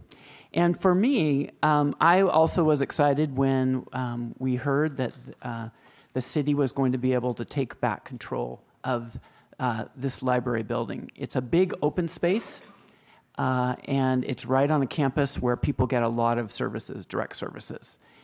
Um, we started out with a process of saying, let's, let's have a community process. There were several requests to the administration to uh, open up an RFP or RFQ process that went ignored.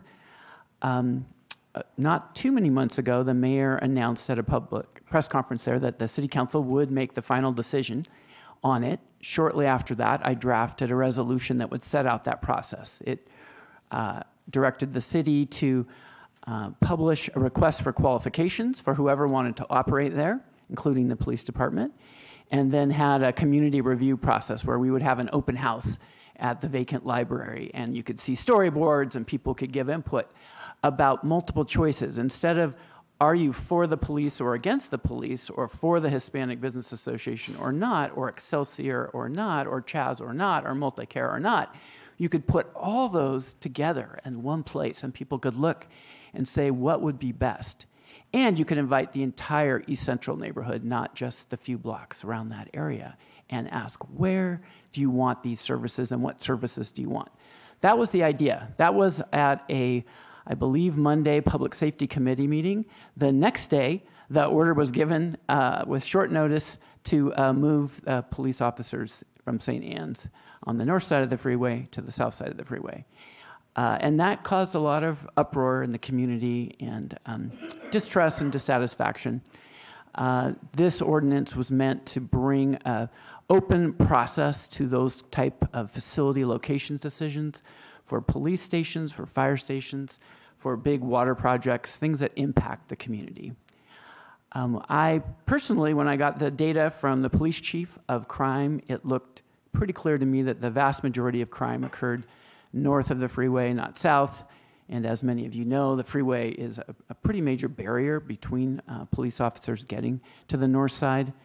Um, at the time, we understood that it was patrol officers were going to be working out of there, but that is not the case. Uh, Councilmember Wilkerson and I visited uh, the library on Friday and took a tour. And just as Lieutenant Staben said, there was three NRO officers, two of them who were pulled out of the neighborhoods where they were working, uh, right with the communities they were working with to be there, and two detectives, and uh, and then Lieutenant Staben, and then now we have a new captain there. So it's not the people who are patrolling and doing that type of work uh, in that area, other than the East Central NRO. So it was a little different than I think some people thought. And really, my idea on this is that the most that could happen, the most benefit, is not that it's either or police or behavioral health. It's just that you could have both. In the Northeast Community Center library that we vacated, we are renting that to Multicare. They're going to pay uh, fair market rent well over $100,000 a year uh, to operate low income behavioral health services, which the community really wants and my sense is East Central could really benefit from that as well, especially at a location where people are already getting services. You take just a portion of that rent, and you could provide some excellent police offices uh, and on an arterial, visible, making it easier for police to respond right to the community and walk around businesses where crime is happening and be that deterrent that is so important. So you could have both for the price of one building instead of choosing between one or the other. And on the day that it was announced that uh, the uh, police were moving in, there was some discussion about working with Excelsior. And I uh, think Excelsior does great work. So I called up the CEO and I said, Would you ever locate people getting mental health treatment right in the same place where police officers were coming in and out? And he told me, No, you might have it on the same campus, but you wouldn't want it at the same building because many people are triggered uh, through no fault of their own nor the fault of the police. And so I just, and I went and I looked, and it didn't look like the building was going to be set up well. When I was there visiting, uh, city construction workers were there getting ready to create space for Department of Corrections to supervise felons there. Since then, when we raised the alarm and said, Do you really want to do that, city? They've confirmed, no, they're not going to do that. But on that day, that's what they were working on that plan to do that. So this just tells everybody take a breath, don't rush into anything, go through a process and figure out how to do things. And that's what this is meant to do going forward, not just for this facility, but for other similar facilities. And with that, I'll open it up to the rest of the council. Councilmember Cathcart. Yeah, uh, a couple of things. So this has never been an either or conversation, not for one second. It's always been a both conversation. Uh, and in fact, I also had a conversation with the CEO of Excelsior and heard the exact opposite of what the council president just said. So, what the truth of that is, I don't know. I wish he was here to speak for himself. That would be really helpful. Um, but unfortunately, he's not. So, a uh, couple of things.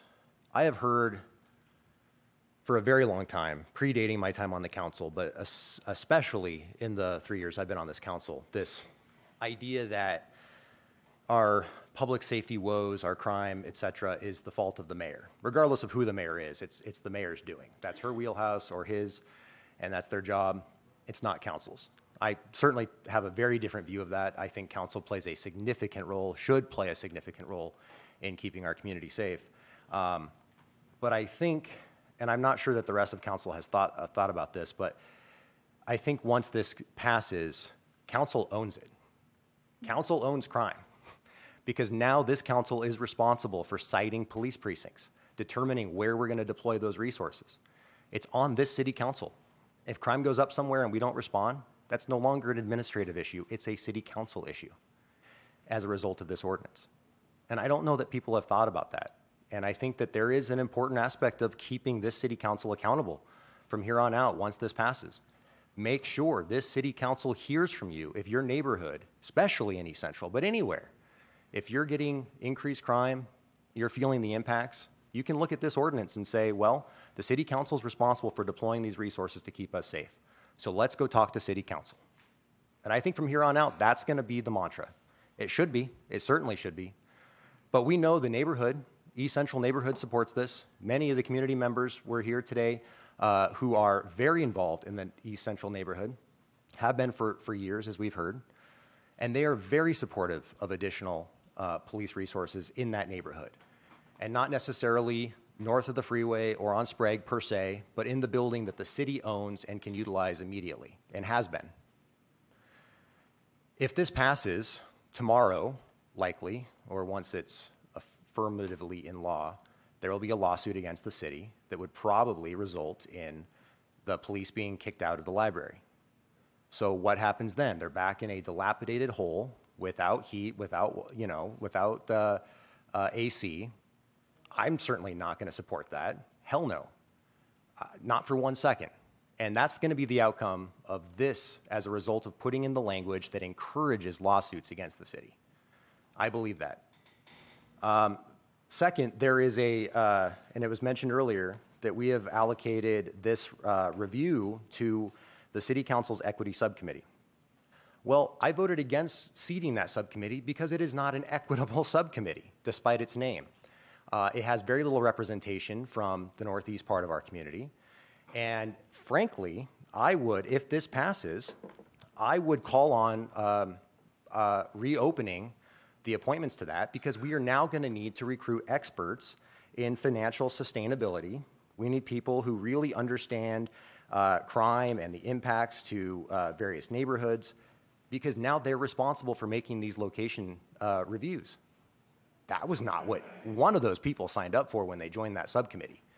This should be in the wheelhouse of the Plan Commission.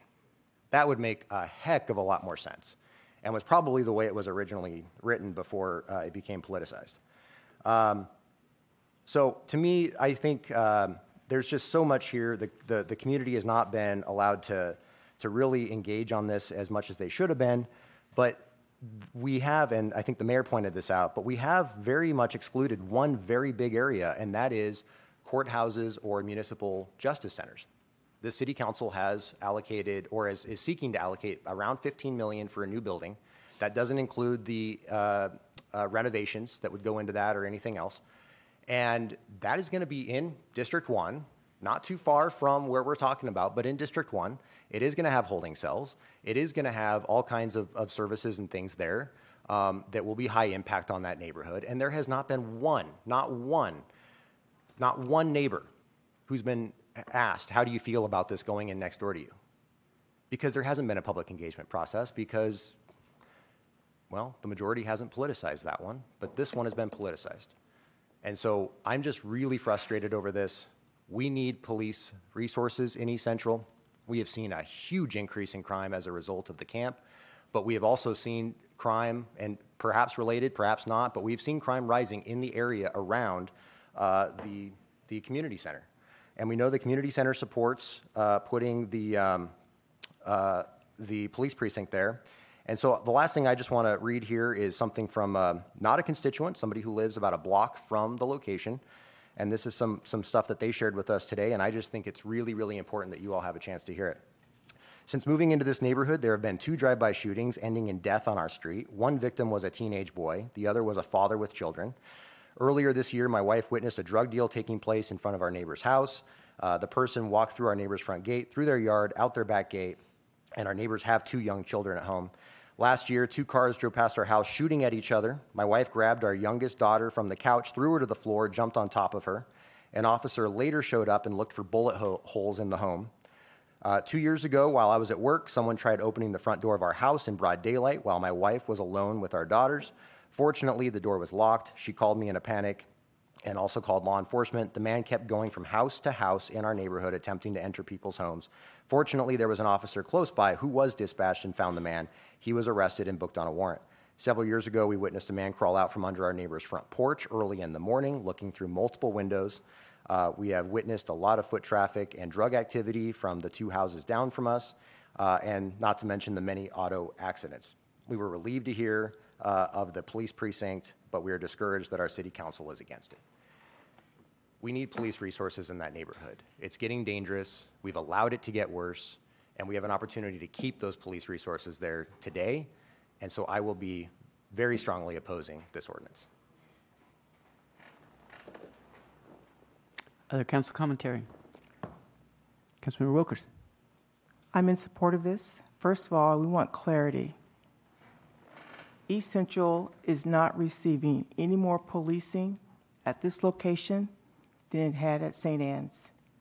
We are not receiving any more resources. The police, the policing you had before is what you have today.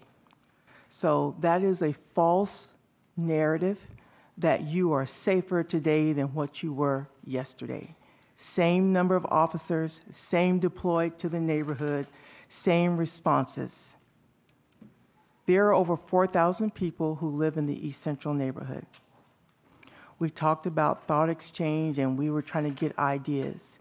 But on thought exchange, a lot of that came from outside of East Central. As a matter of fact, other neighborhood councils have written letters in support of the precinct in East Central, and they're on the other side of the river or way up on the South Hill, nowhere in the neighborhood.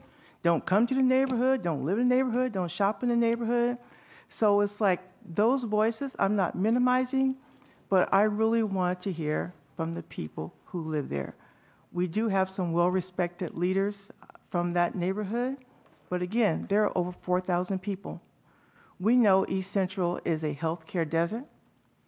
It is something that's been needed for a long time. This was a great opportunity to explore what that could look like in addition to a precinct. Now, I'm challenged because we've been asking, well, where's the plan? And I'm challenged because if St. Anne's was such a terrible location, why hadn't they come to us before now and said, Council, we need help? There are other city uh, owned buildings on Sprague, but since we don't know what the plan is, we don't really know what the resources are that's needed, how big of a, how big of a footprint that they need to really accommodate what they're trying to do in East Central. Also, officers can be doing community policing from wherever they're at. doesn't matter the location. And if that hasn't been going on in East Central, shame on the police department. There's nothing that keeps officers from engaging with the neighborhood. As a matter of fact, there has been a resource officer up until recently located in the East Central Community Center. I don't know how much time they spent there, but there was a dedicated office for community engagement. So putting a building in a neighborhood does not equate to community policing. That is truly relationship building. And the officer who spoke, it's about the team and how they work within the community. So again, I had asked for a independent survey so it wouldn't be skewed, not from uh, the administration side, not from people that I know that we engage because Spokane Police Department had said to me they had done an informal survey around East Central. And I asked Major Olson some time back, could you find out what that was like? I haven't heard back. So I was asking, how many homes did you go to? What were the questions asked? Because we all know surveys can be skewed based on the questions. Did the officers show up in their uniform? And really, did East Central ever have the opportunity to dream about what could be there beside a precinct? Yes, we want public safety. Absolutely, we do. And we want to provide a resource in a location that meets their needs. But that neighborhood, for the first time, had the opportunity to dream about what else could be in the community, whether it's healthcare or other nonprofits. I was open to letting the community decide, and I have said many times if it came back a precinct, great. But right now, all the information is so anecdotal that we really don't have any true data to know what that neighborhood wants. So this is why I am supporting this, and I still support us doing a independent survey with a third party, so all the biases are taken out of it as we go forward to really get a good grasp because East Central is growing. There are lots of things going to be happening down there. It's an amazing neighborhood, and that is the only way for Spokane to grow is to go east. So, with that in mind, let's not rush to just put the police precinct there. And truly, what is the highest and best use of that space?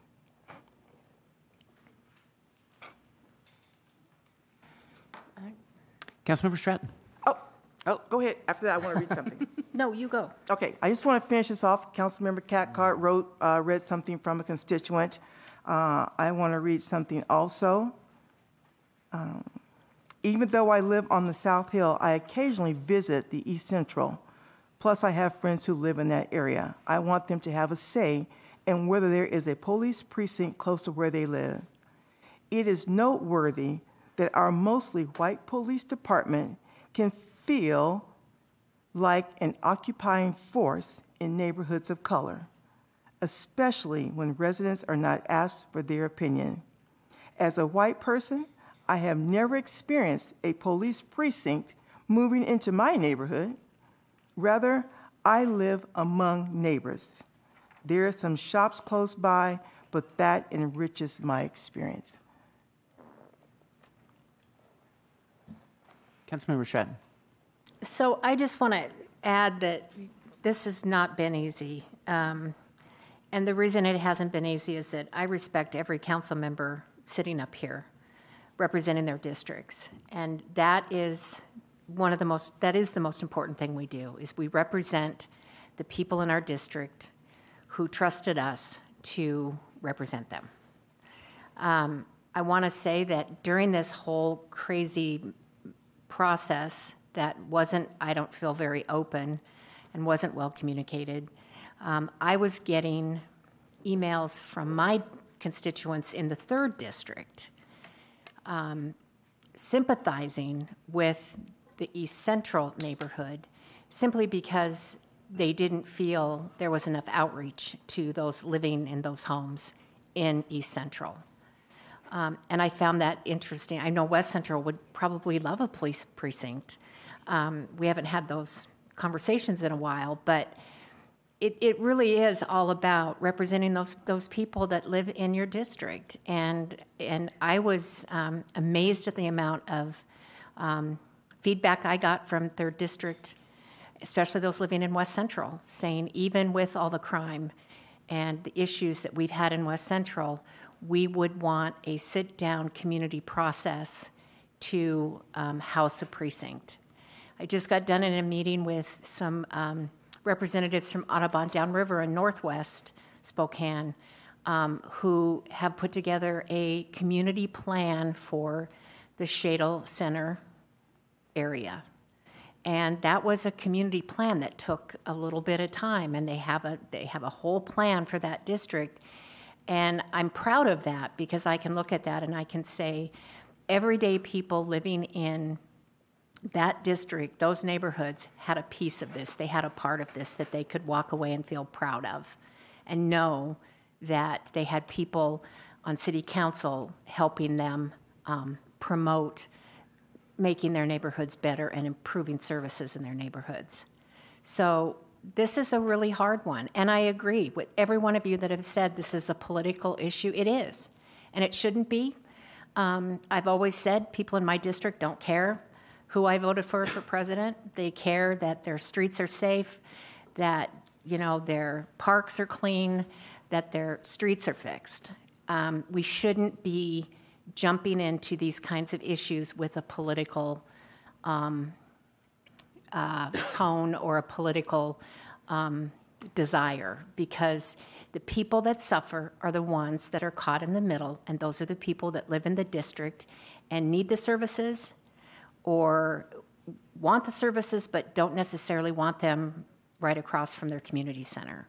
So this is not easy, and um, I think everybody's a, a, little bit to blame because the communication wasn't, um, I don't think, clear and forthcoming. But the the thing I am most disappointed in is that the two individuals who represent that district were, in my opinion, left out of some of the decision making, left out of the, um, the uh, press conference that day. It was, to me, a political power play that we should all be ashamed of. And um, I hope that we don't put ourselves through that again because the people that suffer again are those people that live in the district, those people that will need police, um, and those people that will need health care and services and mental health treatment, all of that that we could provide in our neighborhoods. To simply jump into this decision the way that it was done and the hoopla and the, the press conference and um, two of the district representatives not at that at that event to me was um, unprofessional and insensitive so um, I'm going to support this just because maybe it's a lesson we all learn that either we start talking to each other and you know meet our communities where they're at in their neighborhoods to talk about these things. Um, or you know we're going to keep getting in trouble like this but i'm going to support it and hope that we can do better in the future. But let this be a lesson that what's important are people and the needs of the community you represent regardless of your politics. I don't care how big your ego is.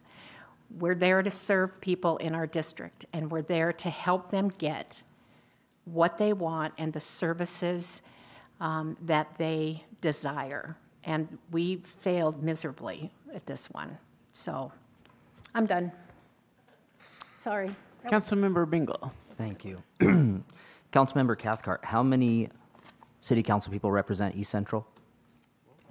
Four, four, not two, four, right? So there is a there is half in District Two and half is in the Northeast. So there are four uh, city council representatives. Uh, two of us are in favor um, of this of this proposal, and so um, I just think it's important because one of the narratives has been that the city council representatives were, were not fully engaged.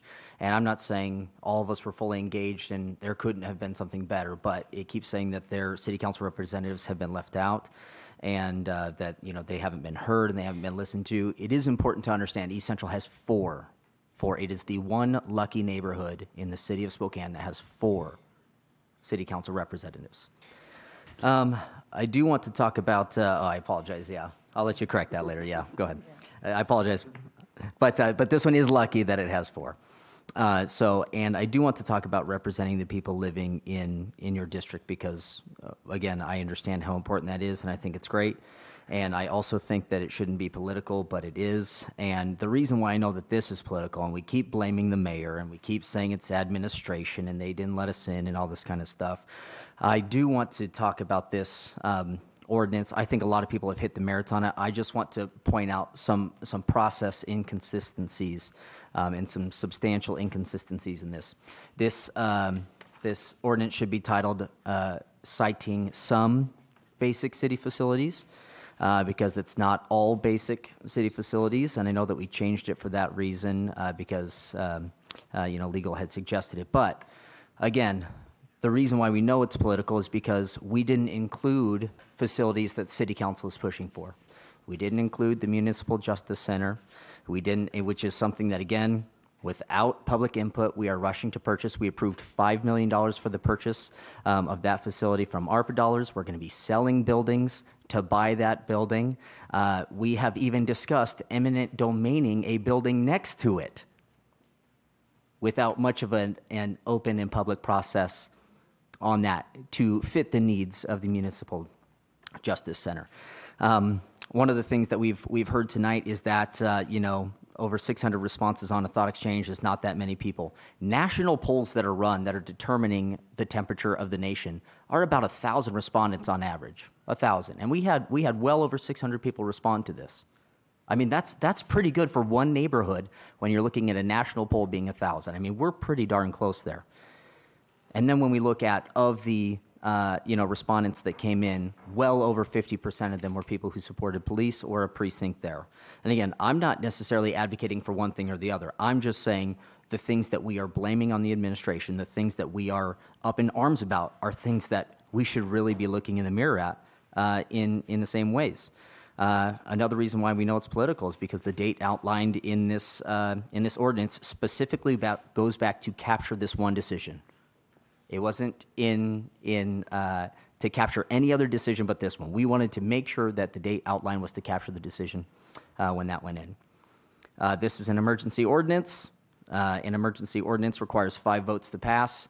Anything in is emergency to this council insofar as we don't like it, right? We didn't like the decision the mayor made. It's an emergency. We have to change something. Um, and uh, and with with five votes, uh, you know, again, the cynic looking at, uh, at this council ideologically might just say the majority can, in an emergency, do whatever they want because they have five votes. Uh, we're talking about, again, public input. There have been multiple versions presented uh, to council in the last couple days. There's absolutely no way we can get adequate public input on the final document that we are going to be discussing tonight with multiple versions. We got one last night, roughly 9 o'clock. We got another one today at 1.45, and the meeting is at 6. There's absolutely no way the public can read and understand and digest exactly what is going to be going into law in that amount of time. We've been talking about, you know, the freeway being a major barrier. We asked the police very directly, is this a major barrier? And they said no. Uh, you know, we've been talking, uh, you know, about the plan, and uh, Councilwoman uh, Wilkerson and I spoke about this earlier. And I, uh, as we were as we were going through this process, I remember that we were just given a presentation on the restructuring of the police and how they're going to be more effective in the community and how it's going to work. And this facility is going to be an important step for us and an important place for us to be able to actually operate patrols um, out of that area and I've happily been working with the with the police and others on uh, on a plan to substantially increase the size of the police force because uh, we cannot provide the adequate level of service that every neighborhood. Uh, you know, deserves at this point with, with the amount of policing that we have. And so I again look forward to us supporting that. When we're talking about community policing, Michael Brown in his testimony says that he called the police chief and there was a response there the next day that his, his needs were being handled. That is one person being represented for sure. But uh, when we're talking about community policing, I believe that our police are making efforts in that area. Um, and again, back on the public input, we had the community assembly rep, the neighborhood council, the business association, the head of the uh, of the East Central Community Center, the Martin Luther King Jr. Center, and the Thought Exchange. We had a significant amount of public outreach that happened. This was not something rushed. This was not something that happened. It happened over the course of more than six months.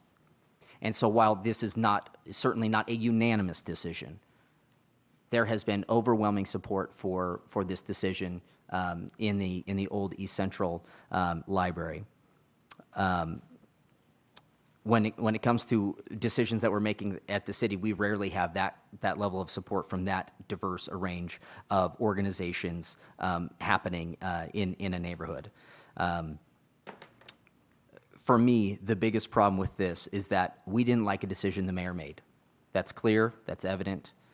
Um, and because of that, we put together an emergency ordinance um, that wasn't developed fully and given to the public, um, even given to council members until 145 today. And so uh, I just, I, I more have a problem with the process because uh, the things that we're condemning the mayor for are, are the very things that we're doing to ourselves. I'm a big fan of making sure that we have our own house in order before we start throwing stones at others. And uh, I would really suggest to the council, I, if you couldn't tell, I'm not supporting this. And uh, I, I, would encourage the rest of us to, um, uh, to not support it because, again, it feels, feels very two faced in the accusations that we're lobbying and not looking in the mirror. So I will not be supporting tonight. Councilmember Zappone. Yep. Um, I will be supporting this ordinance, and I understand a lot of the concern about the public safety in the neighborhood. And this ordinance doesn't do anything to hurt um, the neighborhood or prevent law enforcement from working in the neighborhood and continuing to do outreach in the neighborhood. Uh, some of the reasons that I'm supporting this ordinance is we know the outreach process is flawed. Uh, we know Thought Exchange is not a perfect tool. It is a tool, but it is not perfect. Uh, it doesn't allow us to see the bigger picture. Just like we heard, what is the bigger picture for the use of the building and the neighborhood? Um, why don't we do more outreach? There was no public meeting had. The mayor did not have a town hall in the MLK Center, in the library to ask people what to do there. Instead, it was all online. Not everyone even has access to the internet to be able to give that input. So why be afraid of more information? Um, I'm not sure exactly, personally, how a police precinct makes a neighborhood a lot safer. Since the downtown precinct has gone in over a year ago in downtown, crime has still gone up downtown. So the building itself will not do anything. We need more resources. Second, there's nothing in the city charter that reserves this power to the mayor. This is just a false argument. Uh, like Council President Beggs pointed out, council has the power to pass ordinances. That's what we're doing. That's why we have checks and balances. This is an ordinance. Also in the city charter, if you look at section or Article 4, Section 37, the procurement of public works, goods, and services, it says, subject to the general laws of the state of Washington, the city council shall by ordinance regulate the manner in which the city contracts for public works, personal services, and acquisition and disposition of property. This is a property, and we're saying what we should do with a building that is under the city council's purview. In section 24, it says the mayor has the following duties and powers. The uh, section A, the duty to see that all laws and ordinances are faithfully enforced and the law and order are maintained in the city. So we have to have this uh, stipulation in here that allows a member of the public to sue the city because the mayor has a track record of not following her duties and her powers of not following by the ordinances of the city. So that's why we have to have a public oversight because they're not following the laws of the city. Um, we know that when it comes to the cooling and warming centers, they have not been opened by requirement from the city charter or by ordinance. Last, uh, I believe that the mayor is more concerned about putting on a show instead of doing her job of governing. Once again, coming to city council to attack us instead of doing the job out in public uh, and improving public safety. If the mayor had kept to her word and worked with council, we wouldn't be here in this place in the first place. This law, this ordinance would not even be here and being created. There was a lot of hoopla, like Councilmember Stratton said, a press conference, uh, more events, directing, probably directing city staff to come here and testify, coming and testifying herself.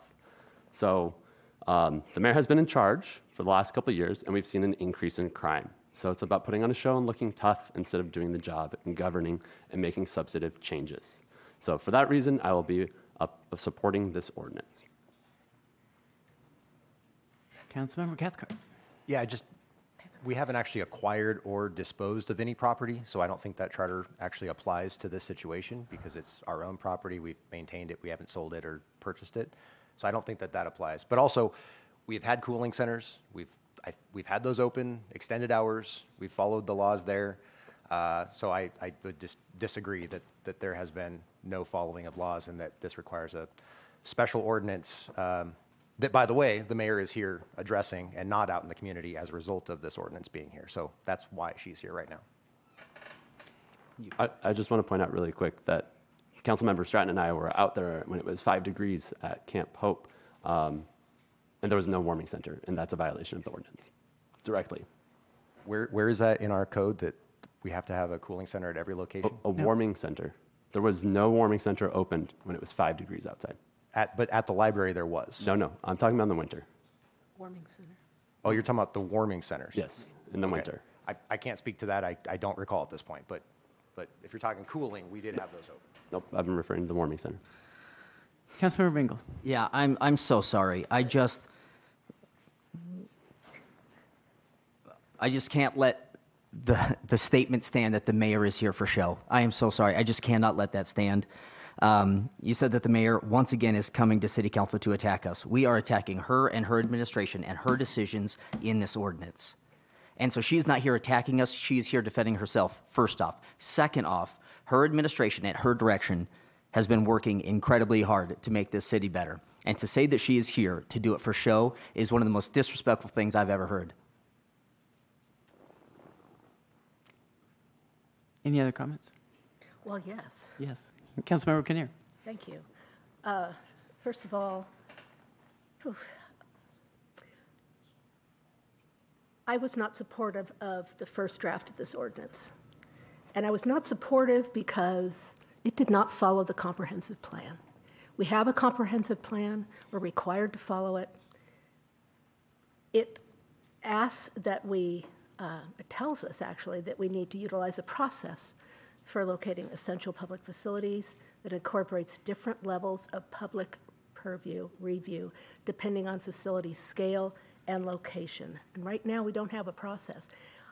I don't care if there is a police precinct or not. I think it'd be great if there was, but whatever the public decides. And I, the police know I am supportive of you all.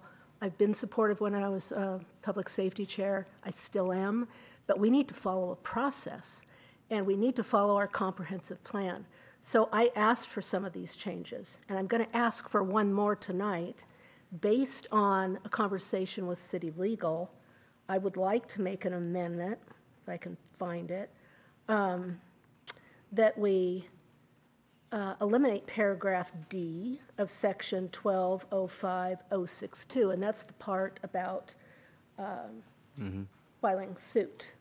So I'm going to keep my, that's all I want to say about why I'm going to support this. I wasn't going to, enough changes were made so that it is saying that we are going to follow our comprehensive plan. And if you go back and read the comprehensive plan, you will see that certain things, certain facilities require a process, not a muni court, okay? So I would like to move that we do eliminate that paragraph D, section 1205062, um, as requested by city legal. Second. Could you just read it? You're such a bother sometimes. Um, I could, I'm trying to find it too. see if I can, f- I, yeah. Is that basic It's- city facility? Yeah. No, in, um, Jacoby, can you, where are the you? nothing in city law. Yeah. Do you have it right there? I, I think this might be the, the 9 PM version and not the 145, so just. Which- full Whichever it disclosure. is. I Just to want be out. clear, that 9 PM version was sent to City Legal weeks ago. They sent it to the mayor's office 9 PM last night, just to be clear on the 9 PM. Do you want to either pass it or read it? So, yeah, here. So it's at the bottom of that page that's at top. So essentially, let's see. Nothing in city law prevents a Spokane resident withstanding who believes that the city has not fully complied with the section prior to the city providing services at a basic sili- city facility from seeking injunctive relief at Superior Court. It's the same one. Yeah, because It pr- It's the same one. I'll take that out. Um, Under the authority of this ordinance to stop delivery of services and/or funding until compliance with this section has been achieved. So, thanks. That is my Okay, that's a motion. It's been second. Second. I told City Legal I had no objection to that. That paragraph had already been changed. It didn't grant a right of action. It just simply says that there's nothing in the law that prevents community members from exercising their legal rights. So- But I have no issue with it, so I'm fine with it. So did we get a second? Yeah. Second. Okay. So, Any- Council President, can you clarify what, why you wanted it in there in the first place? Um, I just uh, wanted to make sure that uh, nobody thought that we were limiting people's rights to go to court. So stating that, but I don't think there is, and city legal convinced me that people have the rights. If they don't think the city is following its law, they can go to court. So they convinced me we don't need it. Um, I think my under, my sense is that they were uncomfortable even mentioning lawsuits, as, as if that would somehow, if, if you didn't mention it, people wouldn't know about it, but I didn't think it was critical to it. But there's still the option that people can, There- There always is the option, anybody can sue anybody for anything. We heard So, that from our city attorney Yes. recently. Yeah, yeah.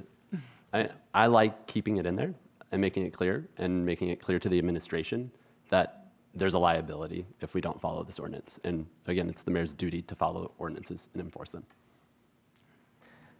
Well, I think if it brings us closer to an agreement, I would, sig- I would agree with Councilmember Kinnear to strike it. So does it truly bring us closer to an agreement, or is this just a little negotiated point here? Well, either way, it's a win. It Makes city legal happy for sure. I understand city legal, but I understand citizens as well, so. I think everybody knows that they can, as I said, anybody can sue anybody for anything. That's not, that, it happens all the time. Let's not open the door.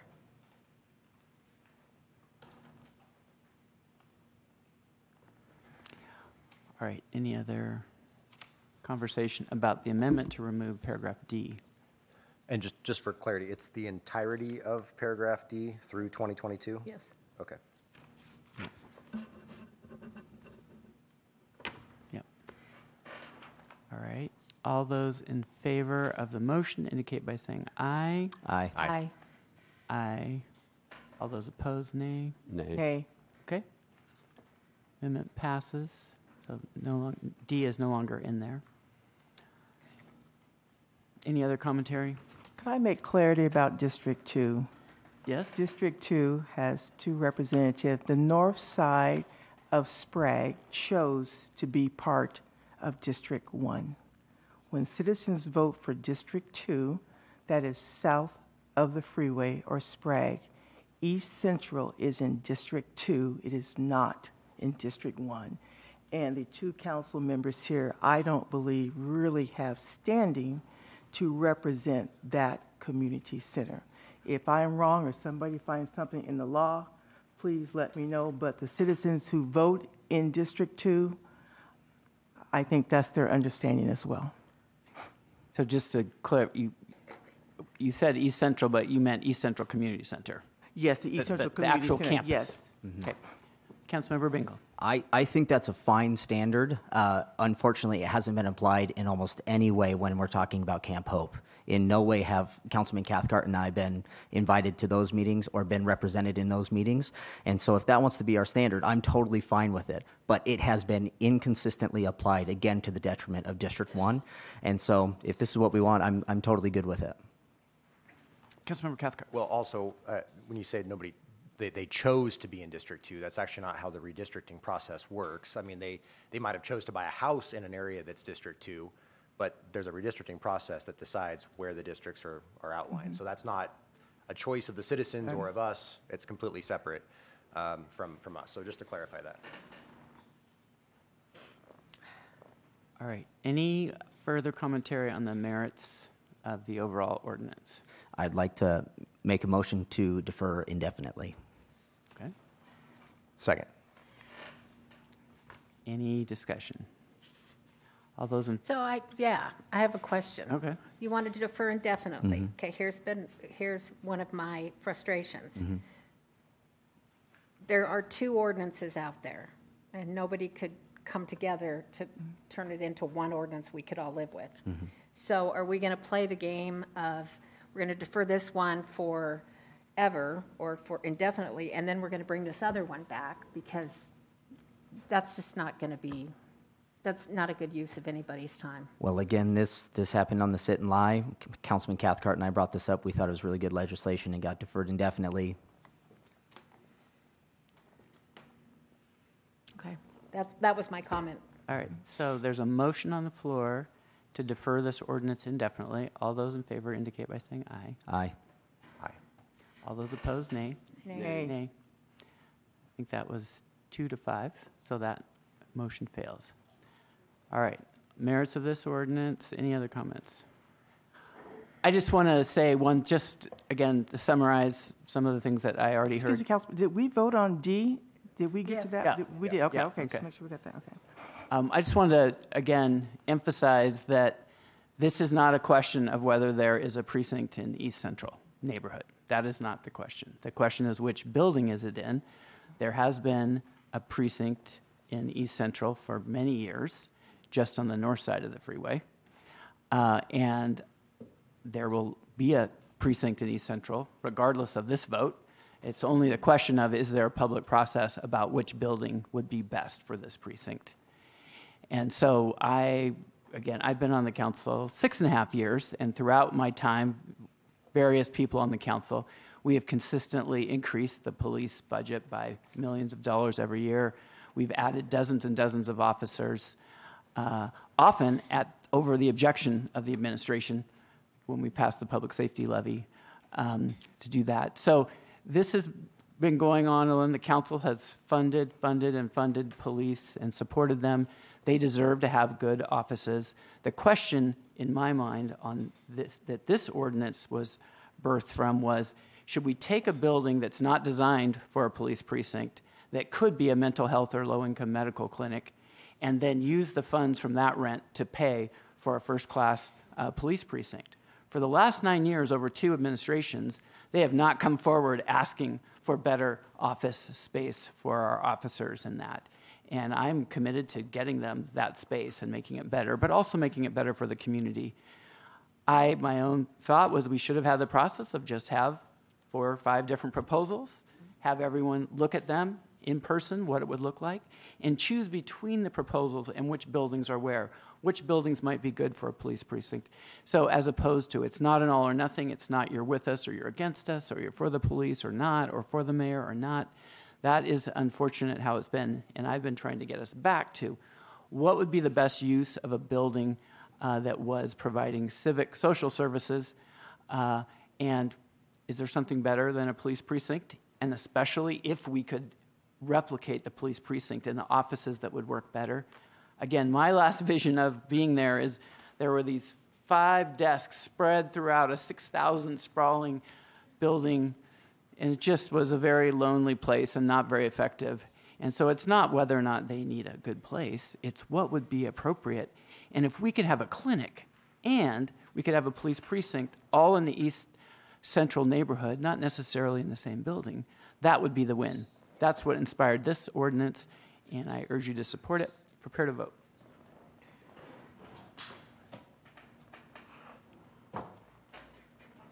All right, that passes five to two.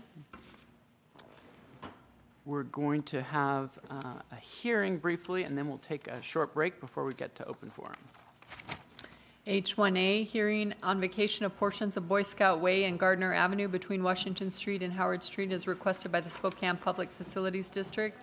H-1B, first reading ordinance C 36260, vacating portions of Boy Scout Way and Gardner Avenue between Washington Street and Howard Street. Further action is deferred on the first reading ordinance. Eldon, you want to come down and just preview it briefly?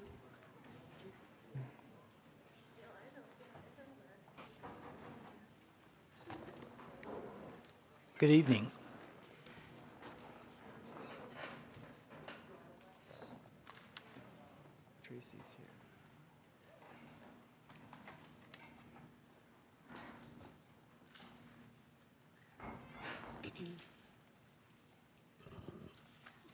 What we're talking about is the actual vacation of portions of Gardner Avenue and Boy Scout Way, which is basically part of the parking lot today over there at the arena site.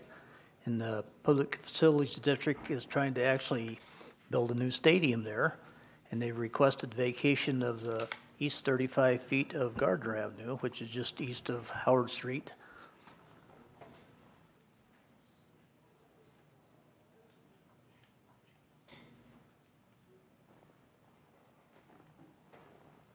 Here, I got it, Eldon. Yeah, trying to eliminate that piece of the picture. Yep. There's There you the west 25 feet of Boy Scout Way. And originally, we vacated what's in between the magenta on there years ago. So we're just now asking to vacate, like I say, the west 42 feet of, or the east uh, 42 feet of Gardner and the west 25 feet of Boy Scout Way. There are no city utilities in that street. Uh, They were, they're in the process of being relocated, so we're not requesting any easements to be located in there. Uh, Originally, we had requested uh, payment for the right-of-way, which totaled about $47,104. The Public Facilities District and the school district actually sent a letter to us requesting waiver of that fee based on the public benefit of the project. That was condition number four in our recommended conditions of approval. We would recommend elimination of that requirement based on their public benefit that they've represented. So I would be happy to answer any questions. Eldon, do we need to bring a motion on the public benefit exception, or is that included in your? It's, I would recommend you just eliminate condition number four. Okay. In there, which uh, requires it today Is upon there, council vote. is there a motion to eliminate condition number four? Second. All right, any discussion? All those in favor indicate by saying aye. Aye. Aye. Any opposed, nay? Any abstentions? All right, condition four is eliminated. Any other questions?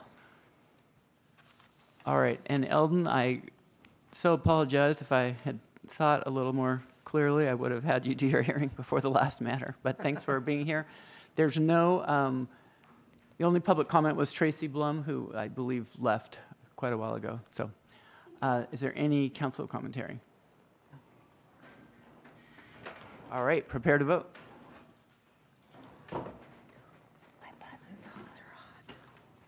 All right, that passes seven to zero. We take a 10-minute break. We'll be back really promptly by 8:30 on your seats, hopefully, and we'll uh, finish up the night. Felt like you were looking right at me on that one. They are hot.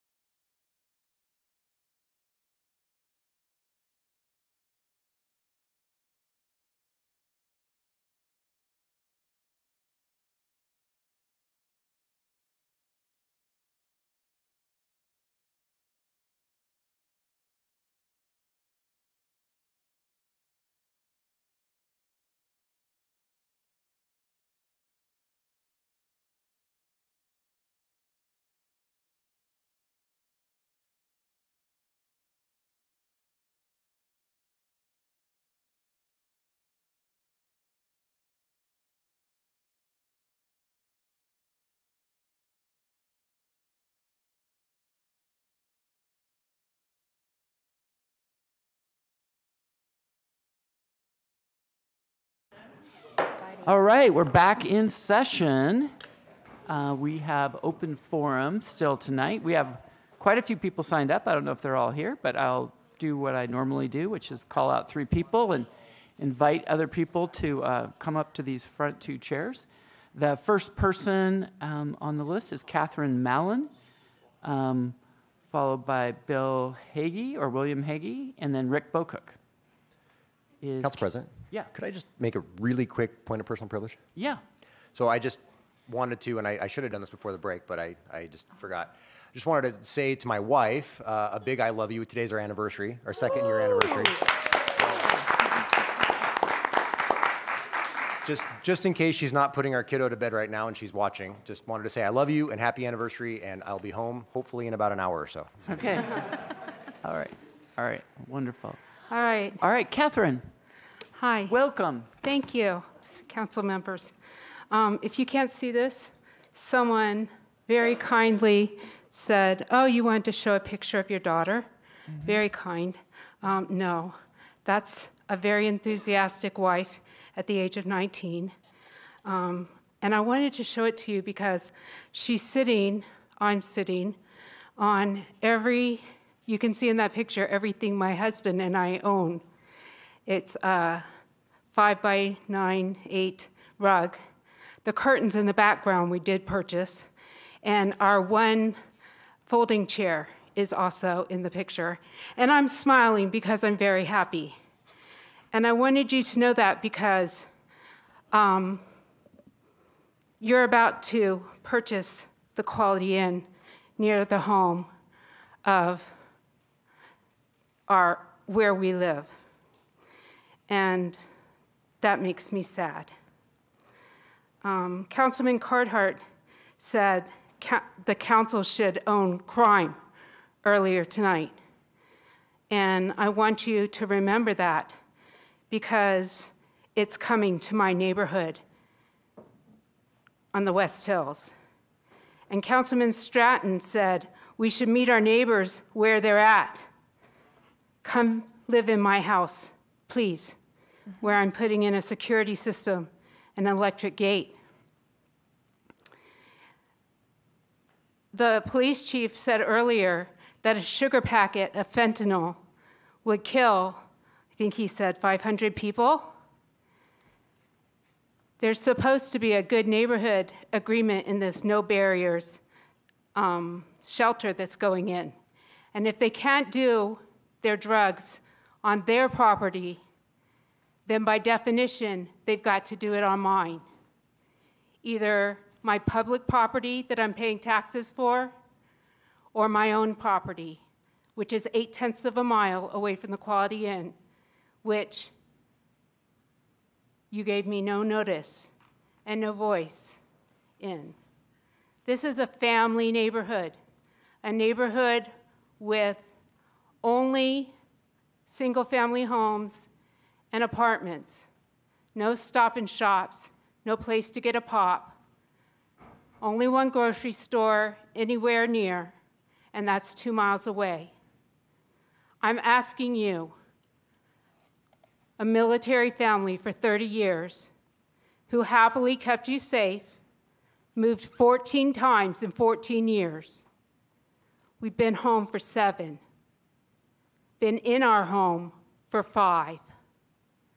Our little slice of heaven finally, after keeping you safe for 30 years in a heavily military neighborhood Catherine. of retirees and active, active duty. We're at the end of your time. Thank you. Thanks so much for coming down. Uh, William Hagee. After William is Rick Bocook, and then Glenn Stockwell.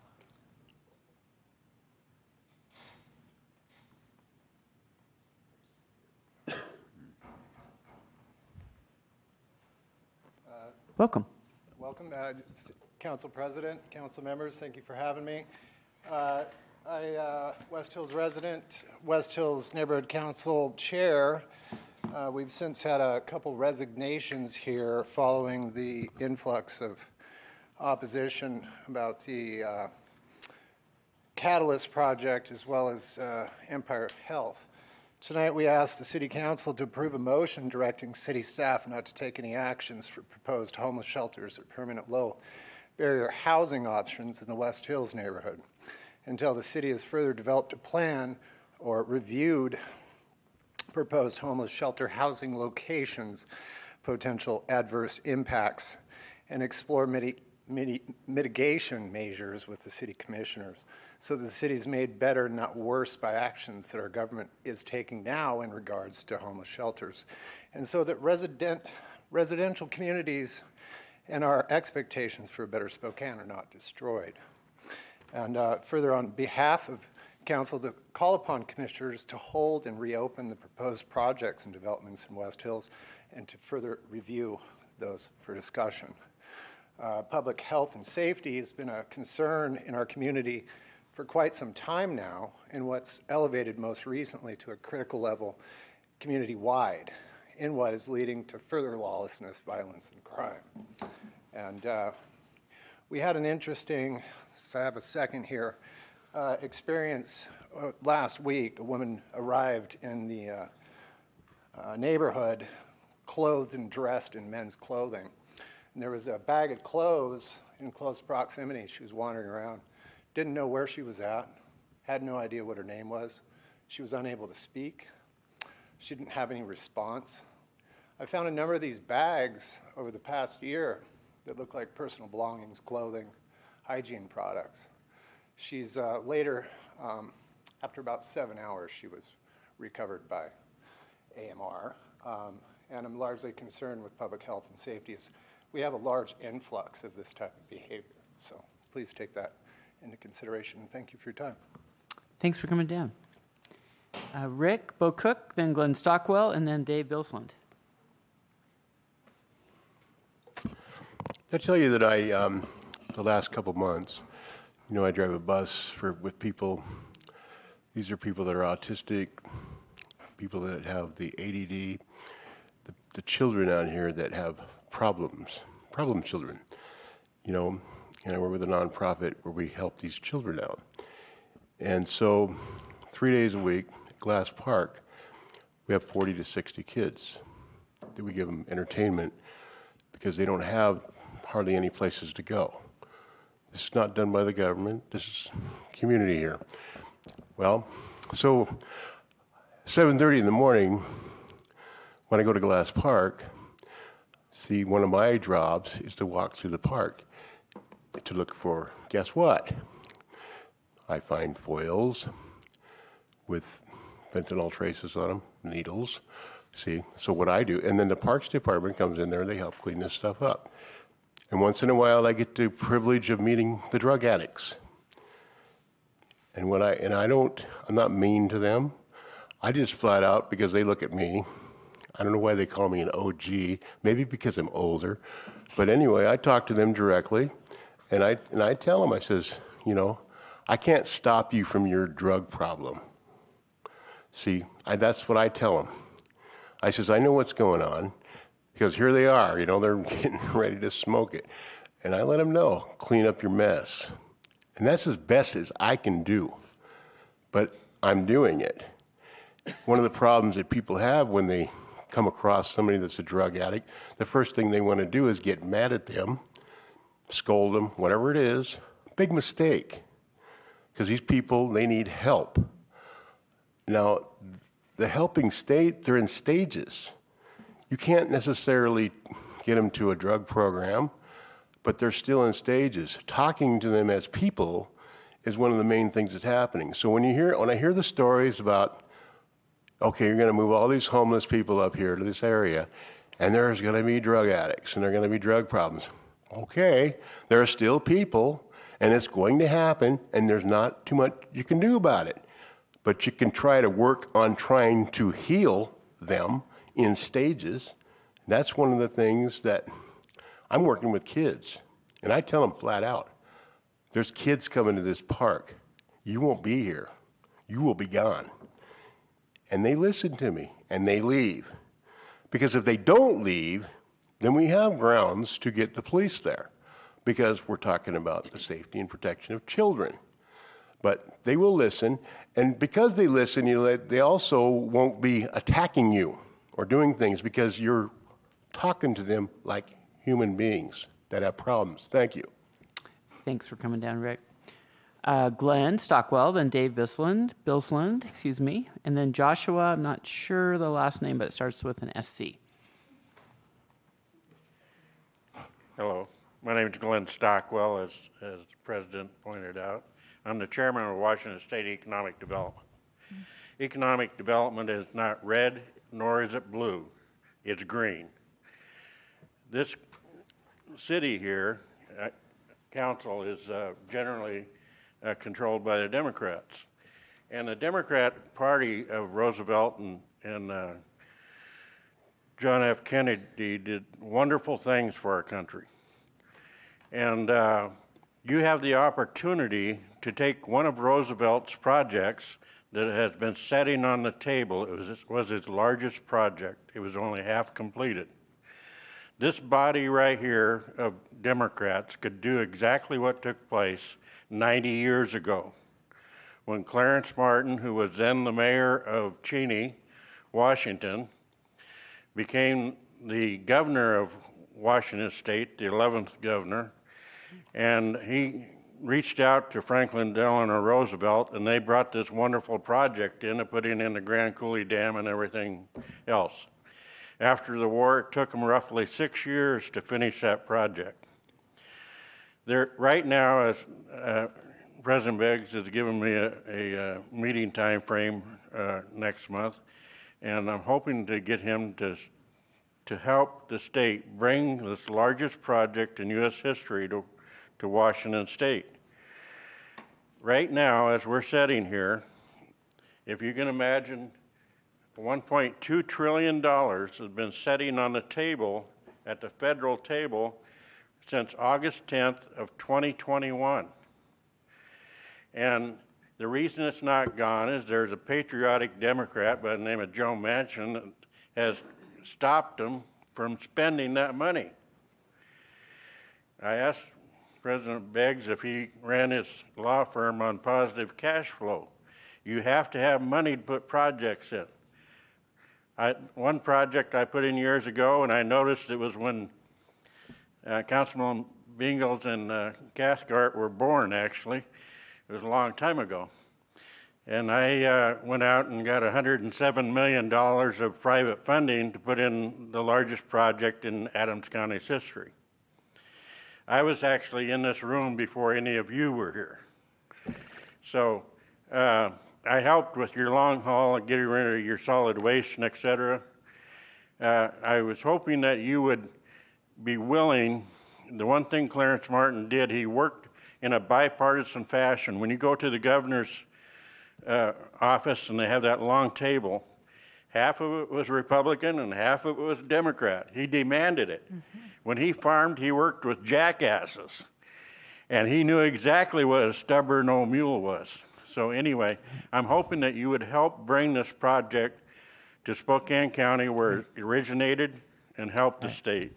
Thank, Thank you very much. Thanks for coming down, Glenn. Uh, Dave Bilsland, are you out there? There you are and Joshua after that, and then looks like Michaela B. I'm not quite getting the last name on that either. All right. Yes, I was hiding in plain sight. You're usually right back there. I would like to do a program where STA fares are eliminated.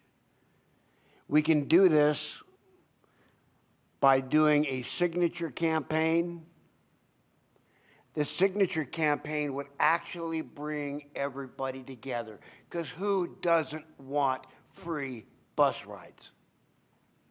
The reason we need to do a signature campaign is to get the funding for this. Yes, it is about the money. I propose we go on the ballot to raise STA's 0.2% sales tax 2.3% as allowed by laws dating back to the 80s. We could provide the STA with a lot more money. They could eliminate fares. They could bring in some new routes. How about if we accommodate swing shift and run the buses a little later? I had to pass on jobs because I could not work swing shift because I couldn't get home. Okay, and this has been a problem for a long time. If we can fix this, maybe we can get more people to work on swing shift. These are the people that get off at one o'clock, get off at twelve thirty, get off at midnight. You can't catch a bus then. This needs to be changed. And a way to do it is to increase the funding, and in doing so, you can also decrease fares, which is a very positive thing for everybody. Talk about a democratic process. Everybody gets free buses, and I'm not Oprah. Okay. The reason I want to do this signature process, though, is how much it's going to bring people together. I've organized these things in the past, I've worked many of them. Not only are we going to get people involved in the process for free buses, we're also going to get them working together and learning the process. We're going to be registering people to vote. We're going to bring the whole process into focus. Here's how we do it, and let's do it. So, if anybody's interested, in the next couple of weeks, I'll be putting something together. I'll try to get at worst a Facebook page going, and we can start there. We're not going to get it on the ballot until probably the next uh, uh, uh, general or maybe the, the primary. I'm not sure. But that's the time frame we're looking at. And so what I want to do is get enough signatures that I have every vote necessary already there and take it in and send that many signatures down.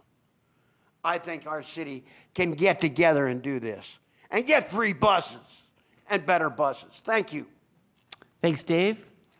Uh, Joshua, if you want to. No, I just said thanks. Yeah, yeah, no, no. Joshua, if you come in and just introduce yourself. I'm sorry I can't quite read your name. And then Michaela after that, and then Beth Zamont. Uh, my name is Joshua Scowden, uh, representing the West Hills neighborhood. And uh, good evening, uh, council members and President Beggs.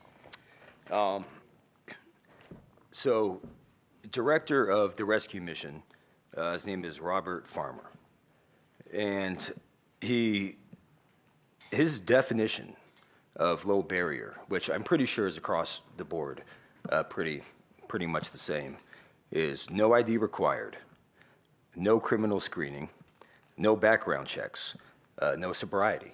Um, and you can be a current drug user, uh, methamphetamine, uh, crack, uh, fentanyl, anything. It could be anything. Um, you could be a sexual offender, uh, child molester, rapist, burglar, um, been convicted of multiple violent offenses. And to me, that is unacceptable. I do understand uh, the gentleman with the overalls. I, I get it. Um, they're people. But what determines the kind of people we are are the decisions we make. And the type of neighborhood we have right now is in jeopardy. And I don't think it's okay. There's real estate, you know, commercial real estate. Um, that's been up for lease, up for sale for years. I mean, drive around, NAI Black, all over the place. They've been trying to lease out spaces forever, right? I see the same vacant areas, uh, vacant lots, vacant buildings, and I just don't don't see how um, it's not clear as day that you want to keep uh, people that are in that stage um, of their life. They can improve, they can get better but offering something to them that would harm so many other people. You can help people without hurting other people. And I think that's the biggest takeaway. You don't have to hurt people uh, to help other people. And I think that's uh, pretty much wraps it up for me. So, okay. Thanks for coming down, Joshua. Yep. Is Michaela here? Hi, Michaela. See if we can bend that microphone down a little bit. So you can, after Michaela is Beth Zamont, and then looks like Derek Zamont.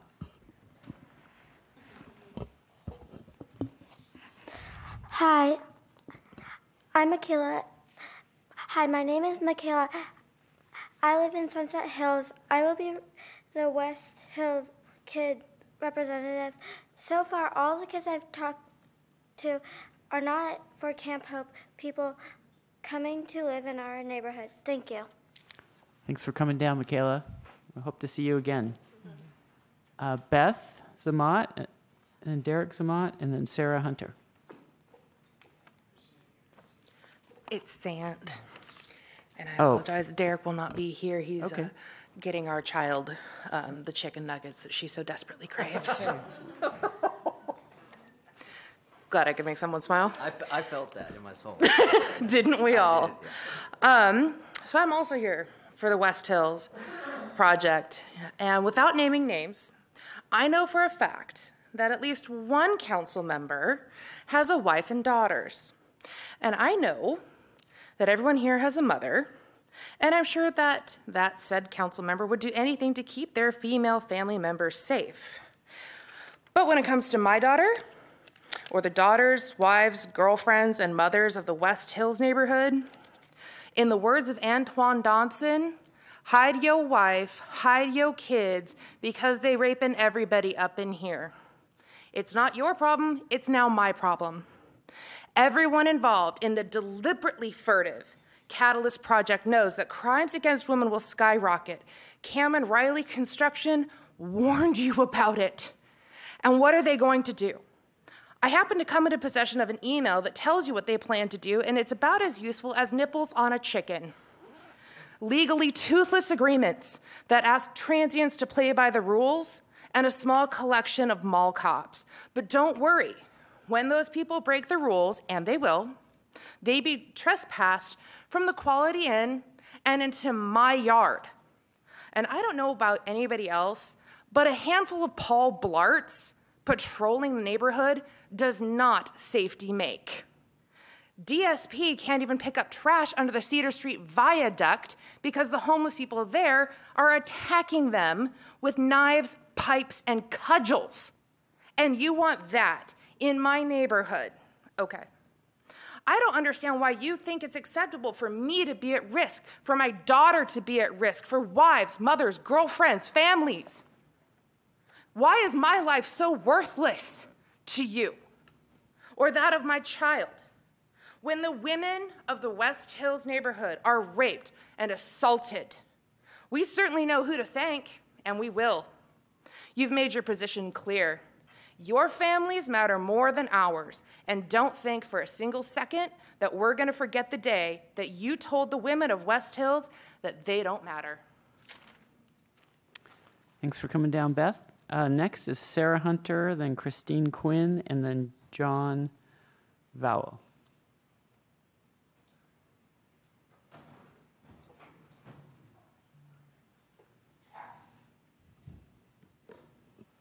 Hi, I'm Sarah from West Hills. Welcome, Sarah. Yes.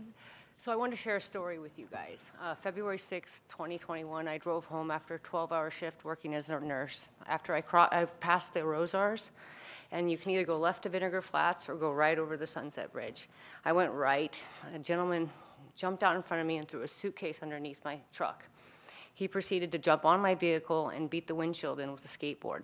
I was nearly six months pregnant. I finally was able to move my vehicle when he got off to the side so I could run off the run to drive the vehicle without actually hurting him in the process. He went on to beat two other passengers behind me. He is he was arrested that night and convicted. But what I want to ask you, Beggs, was when you came up with this plan for the Quality Inn, did you also come up with a comprehensive plan to protect my family? Because without that, we're looking at taxation without representation. And with that, I would like the council to now reopen this and to include all the county commissioners, the neighborhood councils, so we all can come up with a real comprehensive plan that works for everyone, because this simply does not work for us. Thank you. Thanks for coming down, Sarah. Uh, Christine, and then John Val, and then Karen John, looks like. Hi, I'm Christine Quinn. I live in West Hills, and I was just going to say we will take that police precinct. We're going to need it. Thanks, Christine. Is John Val here? Am I getting that right? Okay. Kieran, John? And after, I'm not saying if I'm saying your name right, so please. Uh, Kieran John. okay. And then Crystal Burgett. I know it's been a long afternoon for me. Uh, so I can only imagine it's been a long afternoon for you, but if I could just have your eyes on me for a minute just so you can hear me. Hello, council members. I'm so happy to hear the council wants a more significant role in keeping our community safe. Because the safety of my community is in serious jeopardy, and we desperately need your help. I am here, sorry. Ooh. I am here to speak on multiple proposed homeless shelters set to be built within our neighborhood, West Hills. Two years ago, we bought our home in the West Hills with the intent to plant our roots and grow our family. Our daughter is nine years old, and, my, and I am currently six months pregnant with another little girl. My husband and I dumped everything we had into our recent home purchase in order to invest in our children's future. Last week, our neighbors group messaged us, alarmed by an obviously intoxicated and incoherent non resident located at Whittier Park. This is the very same place our children play and wait to take the bus to go to school. It is already the case that we can't walk safely outside of our neighborhood towards downtown.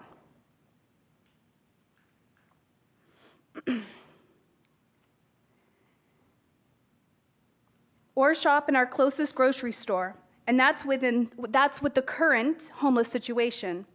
It is clearly evident by looking at Camp Hope's neighborhood and surrounding businesses that these shelters currently in the works will not only devalue our homes and, and drive out businesses, but most importantly, rob our children of being able to safely play outside of our own homes.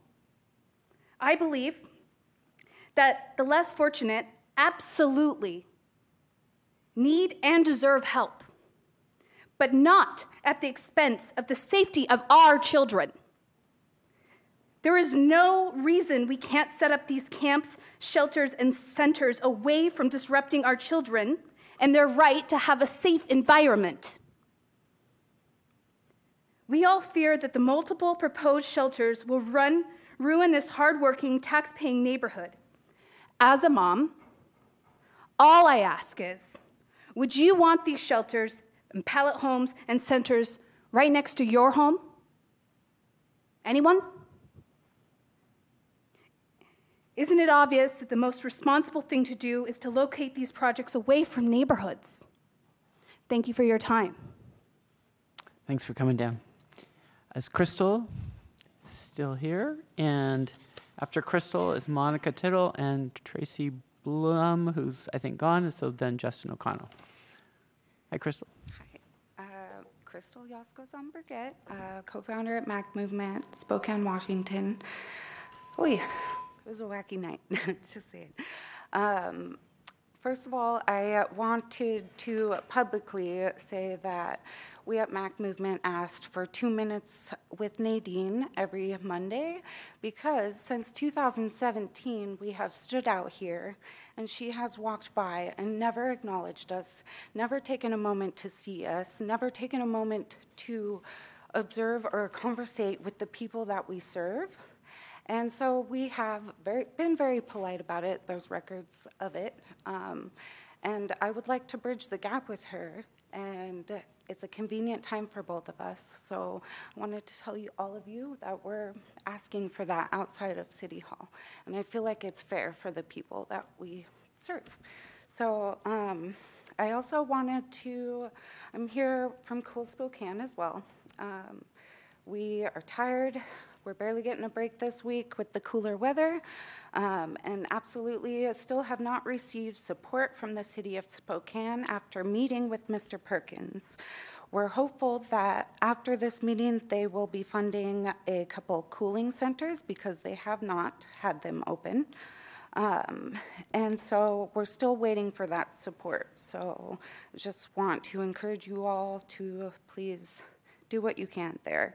Um, Cool Spokane groups have ran five cooling stations for a total of 18 days so far, around $6,000 in cash donations from 75 individual donors, over 100 individual volunteers, over 10,000 bottles of water, and thousands of sandwiches and snacks have been passed out. A group estimate total cost of labor and supplies is upwards of $20,000. We've been saving lives this summer together without the help from the city. So I'm hoping you guys will step up. Thank you. Thanks for coming down. Um, Monica, are you still here? There you are. Come on down. After Monica, it's going to be Justin O'Connell and then Paula Dusty, I believe. Hi, how are you tonight? Great. I understand everyone's worried about having a homeless shelter, well, Quality Inn housing, hu- housing homeless people. I was homeless for five years on these streets. I know them very well, unfortunately. But I can tell you right now that I went from someone that had never been homeless to someone that thought I was unworthy of ever having a home or a roof over my own head. And the fact that we can house sex offenders downtown around daycares quicker than we can home a put a homeless person in a house is ridiculous. You take the trauma away from the person that's going through the trauma at the time, and I guarantee you're going to see addiction drop. You're going to see vandalism drop. You're going to see a lot of the crimes that we have around here right now drop. These people think that they are worthless. They've been browbeat and just destroyed. I've been spit on. I've had things thrown at me that you don't even want to know about. I've been raped. I've been beaten. I have seen people raped and beaten. You live in constant fear. And you think that the only people that are supposed to be there for you aren't there. They turn their backs on you. Yeah, you're going to sit there and you're going to come at them hard. You're damn right. Pardon my French. I understand why people are nervous about these people going into this quality inn. But everyone, if a sex offender can be housed, by God, a homeless person can be too. And it's ridiculous. People don't stop and think about that. Judge not, lest ye be judged first. Matthew 7. I was homeless. I had been sober for eight years, two months, and 13 days. Didn't turn me into another addict because I chose to not be one. There are people out here that have mental illness that cannot handle what has happened to them. I have family in Spokane. They wouldn't even look at me. They would turn and walk the other way, like I didn't exist. It's time that we take, you know, we teach the public, we need to teach everyone that you don't know what a person's going through while they're homeless. You don't. Don't judge someone until you've walked a mile in their shoes. Just because, you know, they're going to house people there. You might be surprised just how much crime stops. Things like that, because you're getting people off the streets, giving them a reason to actually feel something about themselves and think they're worth something. That's what we need to do. I apologize for yelling. Thank- Thanks for coming down and thanks for bringing Jackson. Appreciate it. Uh, Justin O'Connell, and after Justin is Paula, and then I'm going to try to fit in Dave M. if he's still on the phone. Thank you, Council, for hearing us out, and thank you, Council President, for your help last week. This City Council has the best customer service in the country, I think. So, you know, I'm here at, to send a warning from Central Planning. As you know, I work with Central Planning, and we have a little situation developing in, in Houston. I understand that, you know, the cost of living is out of control everywhere, and even city employees here, you know, they're this close to possibly living uh, in their cars, from what I'm hearing. And it might be tempting to start looking to Houston for uh, solutions. We're, we're having that in Dallas right now. The writers there, the journalists, they're saying maybe the housing crisis solution is in Houston. And, and at Central Planning, we can't really have that, you know. We've been trying to get Houston to implement zoning uh, forever. Basically, 1948, 1962, 1993, 2021, zoning, zoning, and they keep saying no. It's kind of like the fluoride thing here. We keep bringing it to the voters, and they say no. They're, you know, we tell them we're going to save their neighborhoods, and they still vote no on the zoning. That's knowing that it has to go to a vote in the first place. Nonetheless, Hispanics voted 58% against zoning in Houston, and 71% of low income uh, black individuals voted against it there. And these numbers are very concerning uh, for us at Central Planning, so that's why I'm here tonight, just to kind of dissuade you from if you're looking to maybe, you know, look to Houston for solutions, just not to do that. Now, you know, Houston relies on the, the market and the so-called price system, which I haven't read too much into, but uh, they, they do have a lot of ordinances, but no land use uh, policies, and that's just something that we can't really have.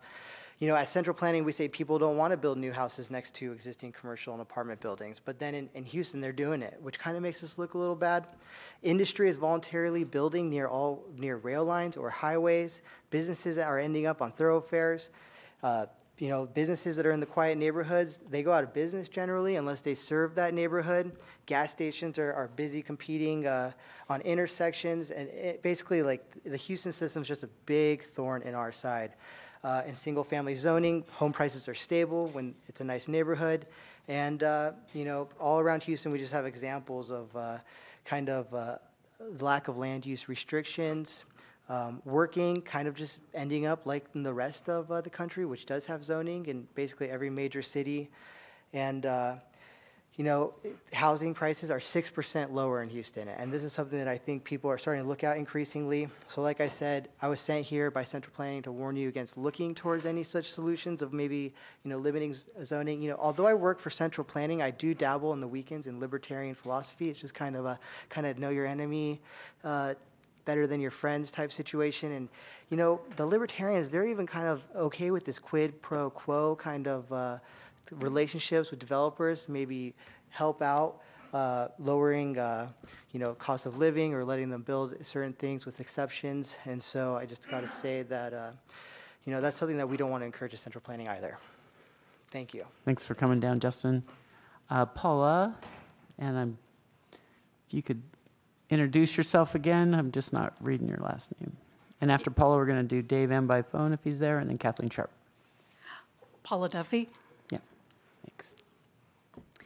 Um, I know some city council members believe that the no and low barrier shelters that are targeting the West Hills neighborhood is a done deal.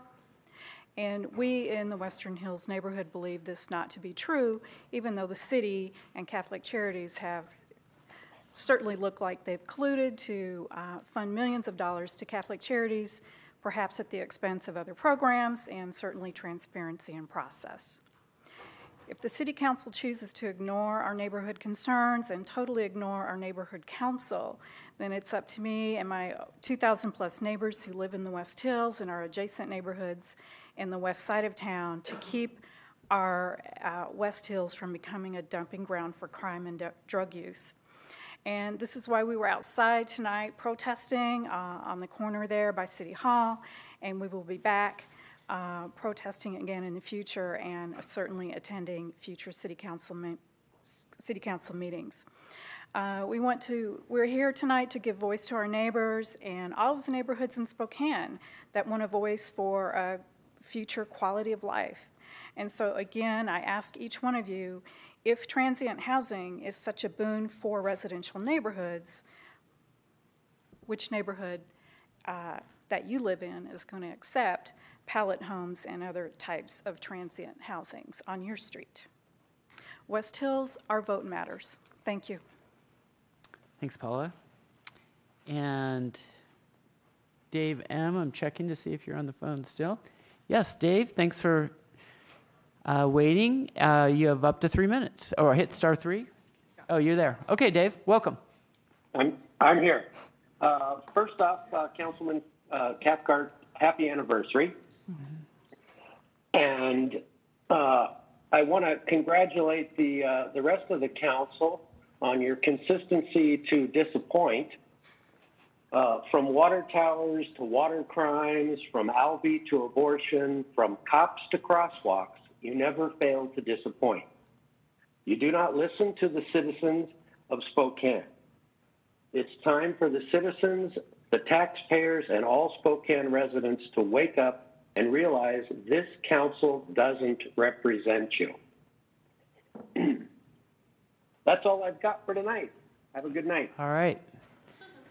Thanks, Dave. And uh, now we have Kathleen Sharp. After Kathleen, uh, Mr. Hemphill signed up, but I'm pretty sure he's gone. And so uh, Drea Gallardo, and then Linda Peterson, it looks like.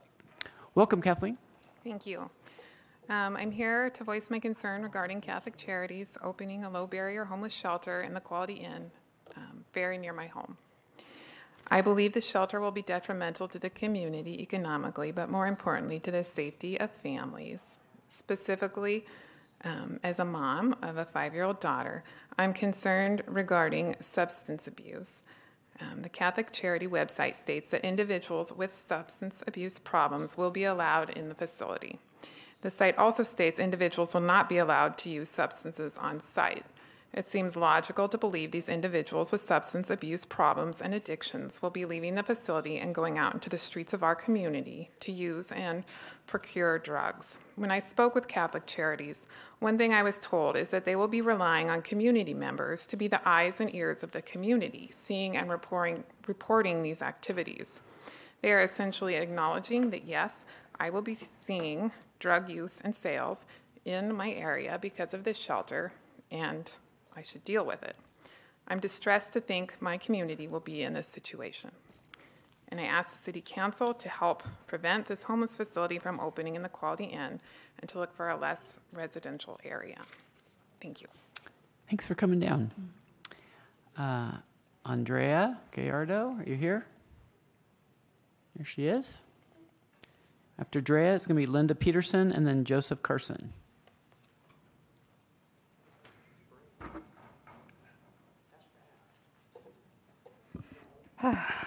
Hello, everyone. Uh, can you hear me? Yes, welcome. Uh, but are you listening? Are the people in the positions of power that make a change for a better future, are you listening to the people that you serve? Are you putting the people over profit? We are either working together or we're working against each other. I'm the co founder of MAC Movement, that's Music, Art, and Creativity Movement, and we've been outside of the City Hall um, since 2017 doing free food with the side of free speech because that's our right, our, our freedom of speech. And um, you guys are deciding stuff here, so we try to make it a comfortable place for people to come and speak. So you guys are hearing from the people. I'm very proud of M- Monica for speaking earlier. It takes, you know, a lot to speak and tell your story. You know, I'm a descendant of the Spokane and Coeur d'Alene tribe, and I've said it before. Uh, you're here, and I'm, I've said it here before, and I'm going to say it again. This is not our way. The indigenous, indigenous people have always been welcoming and would share all that we had. That's always been our way, ever since the first settlers first set foot on our land. And I think they have forgotten that they are guests on this land. It's not no one's to keep, it's all of our responsibility to re- protect. And our people want. Um, I want to give a shout out to all the vo- volunteers with the Cool Spokane. Um, put in a lot of hours for the community and um, with no help. And um, it just it takes all of us working together. We should prepare better you know we're in the north northwest with threatening heat and threatening winters and these are lives lives at stake. And we're you know literally been saving lives with the cooling stations it's not that hard for us to, to figure these things out together, and I just hope that we do. And I also, um, I've asked before if we could put open forum in the beginning of the meetings, because, you know, a lot of us are, are moms and stuff, and parents, and it just takes a lot to be here all the way to the end, because it's, you know, like the lady had to go for chicken nuggets, and, you know, I want some chicken nuggets too. Um, uh, all jokes aside, though, you know, I appreciate everybody's time and just hope that we can work together and so- solve some of these issues for the future's sake. Thanks for coming down. Uh, Linda Peterson. Is Linda here? Not seeing Linda. Joseph Carson. Not seeing Joseph. Tanya Comstock. After Tanya is Dale Brees.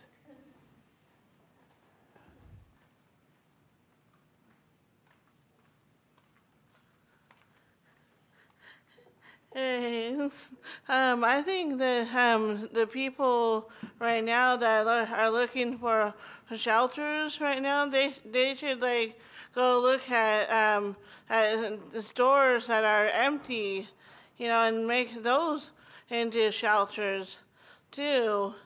You know, the the the city needs to build more shelters for for homeless people, and and they need to build some for children too that are out there too, and they and they need to be, make um, more buses too for them. You know, and like if they stay out late at nights too, and they and they need to teach the kids too about uh, about drugs in schools too.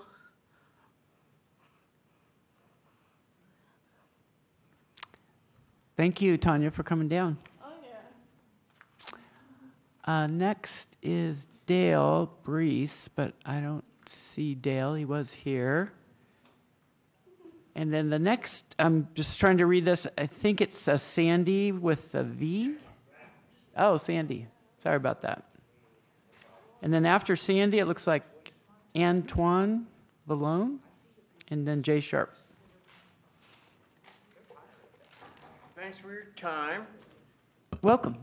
Uh, I haven't got anything better to say than I did last Monday. I've talked to Catholic Charities. Um, everywhere, everywhere I go, I can't find much information on this, on our homeless shelter and the Quality Inn. And I talked to, uh, I mean, what we, it's the biggest cancer that was downtown for years. Nobody would go downtown because of all the homeless, and particularly Charity House was the one that contributed to it the most. And then you get, a, a, I guess, a grant of money, and you have 30 days to spend it, and you've got to spend it. So you put it up in this neighborhood. Is that a solution where you take, you know, crime and drugs and everything else and take it out of downtown so you guys don't have to look at it anymore? And you're going to stick it, what, four or five miles up so that we have to look at it? Is that your solution? I, I, it's terrible. It's terrible. And, and Catholic Charities, you know, they, they, um, I, I asked them what they're going to do. I mean, it's a low, they have no curfew. It's every bit of criminal and drug addict that was downtown is now up there. There's no, no, no curfew.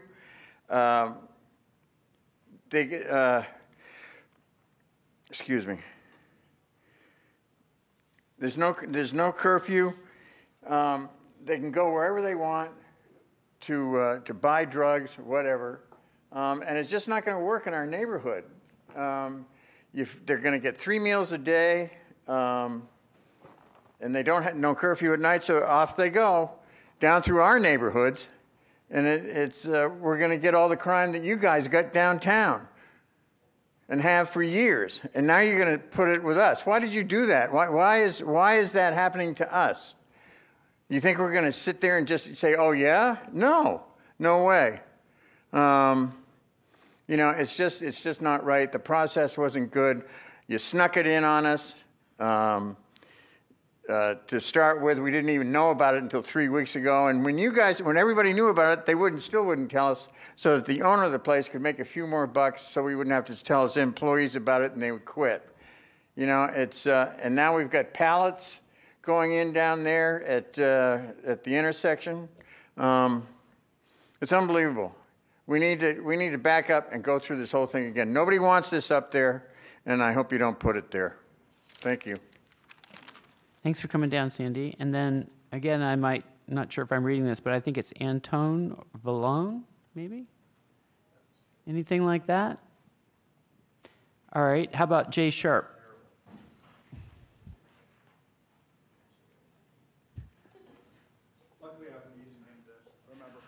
And clear handwriting too. So thank you. Well, well, I signed up online. All right. I would like to state my objection to the sale of the Quality Inn to Catholic Charities to use a low barrier homeless shelter. We have a housing issue in Spokane, and there has been positive movement in the West Hills neighborhood to build and continue to build apartment complexes to help this shortage. With the acquisition of the Quality Inn to be used as a homeless shelter, these projects are now put on hold due to the negative impact the homeless shelter will cause for the neighborhood. With a housing shortage, this will continue to limit houses and construction jobs. The West Hills community needs positive growth like apartment complexes. Catholic Charities is not proposing positive growth and has not been transparent in, in their intentions in this transaction or the transaction on Lower Sunset Hill closer to the bridge. People say homelessness isn't a choice, but on most days, the Union Gospel Mission has 40 beds available. Homelessness must be a choice for some, as they are not seeking out these available resources. As stated before, this is a low barrier housing project, meaning if a person is using drugs or convicted of drug use, they can still come to live there. This is provided that they do not use drugs on the property. When asked about drug use in the community, Catholic Charities responded on the phone call that they would rely on the neighbors in the West Hills community to police those activities. Rob McCann, president of Catholic Charities, who profits from running these shelters with a salary well over $300,000, lives 8.2 miles away from where he is proposing this shelter. My 76 year old mother lives 2,611 feet. My 76 and 73 year old in laws, who have a 14 year old disabled grandson living with them, live 2,968 feet. And my family, including my five year old daughter, live about 3,700 feet from this proposed shelter. My family and my neighbors did not sign up to police this proposed shelter. Obviously, Rob McCann didn't sign up either, as he is miles away in the safety of his South Hill neighborhood. My neighbors and I already need to police our area from transients, abandoning mobile homes, vehicles, and literally camping in our yards. I asked the City Council to not approve the change to use of the 4301 West Sunset use as a homeless shelter. This area has no services, it is a residential community with no industry to support jobs. It's two miles away from the closest grocery store and has no health care facilities. The only thing this is going on for it is it's eight miles away from Rob McCann's residence, and that Catholic Charities believes that the neighbors will police the activities of their residents. My wife, my five year old daughter, and myself are not police officers, but we are being asked to be, and we do not want to be placed in a position where we have to defend our families due to Catholic Charities. Thank you. Thanks for coming down, Jay.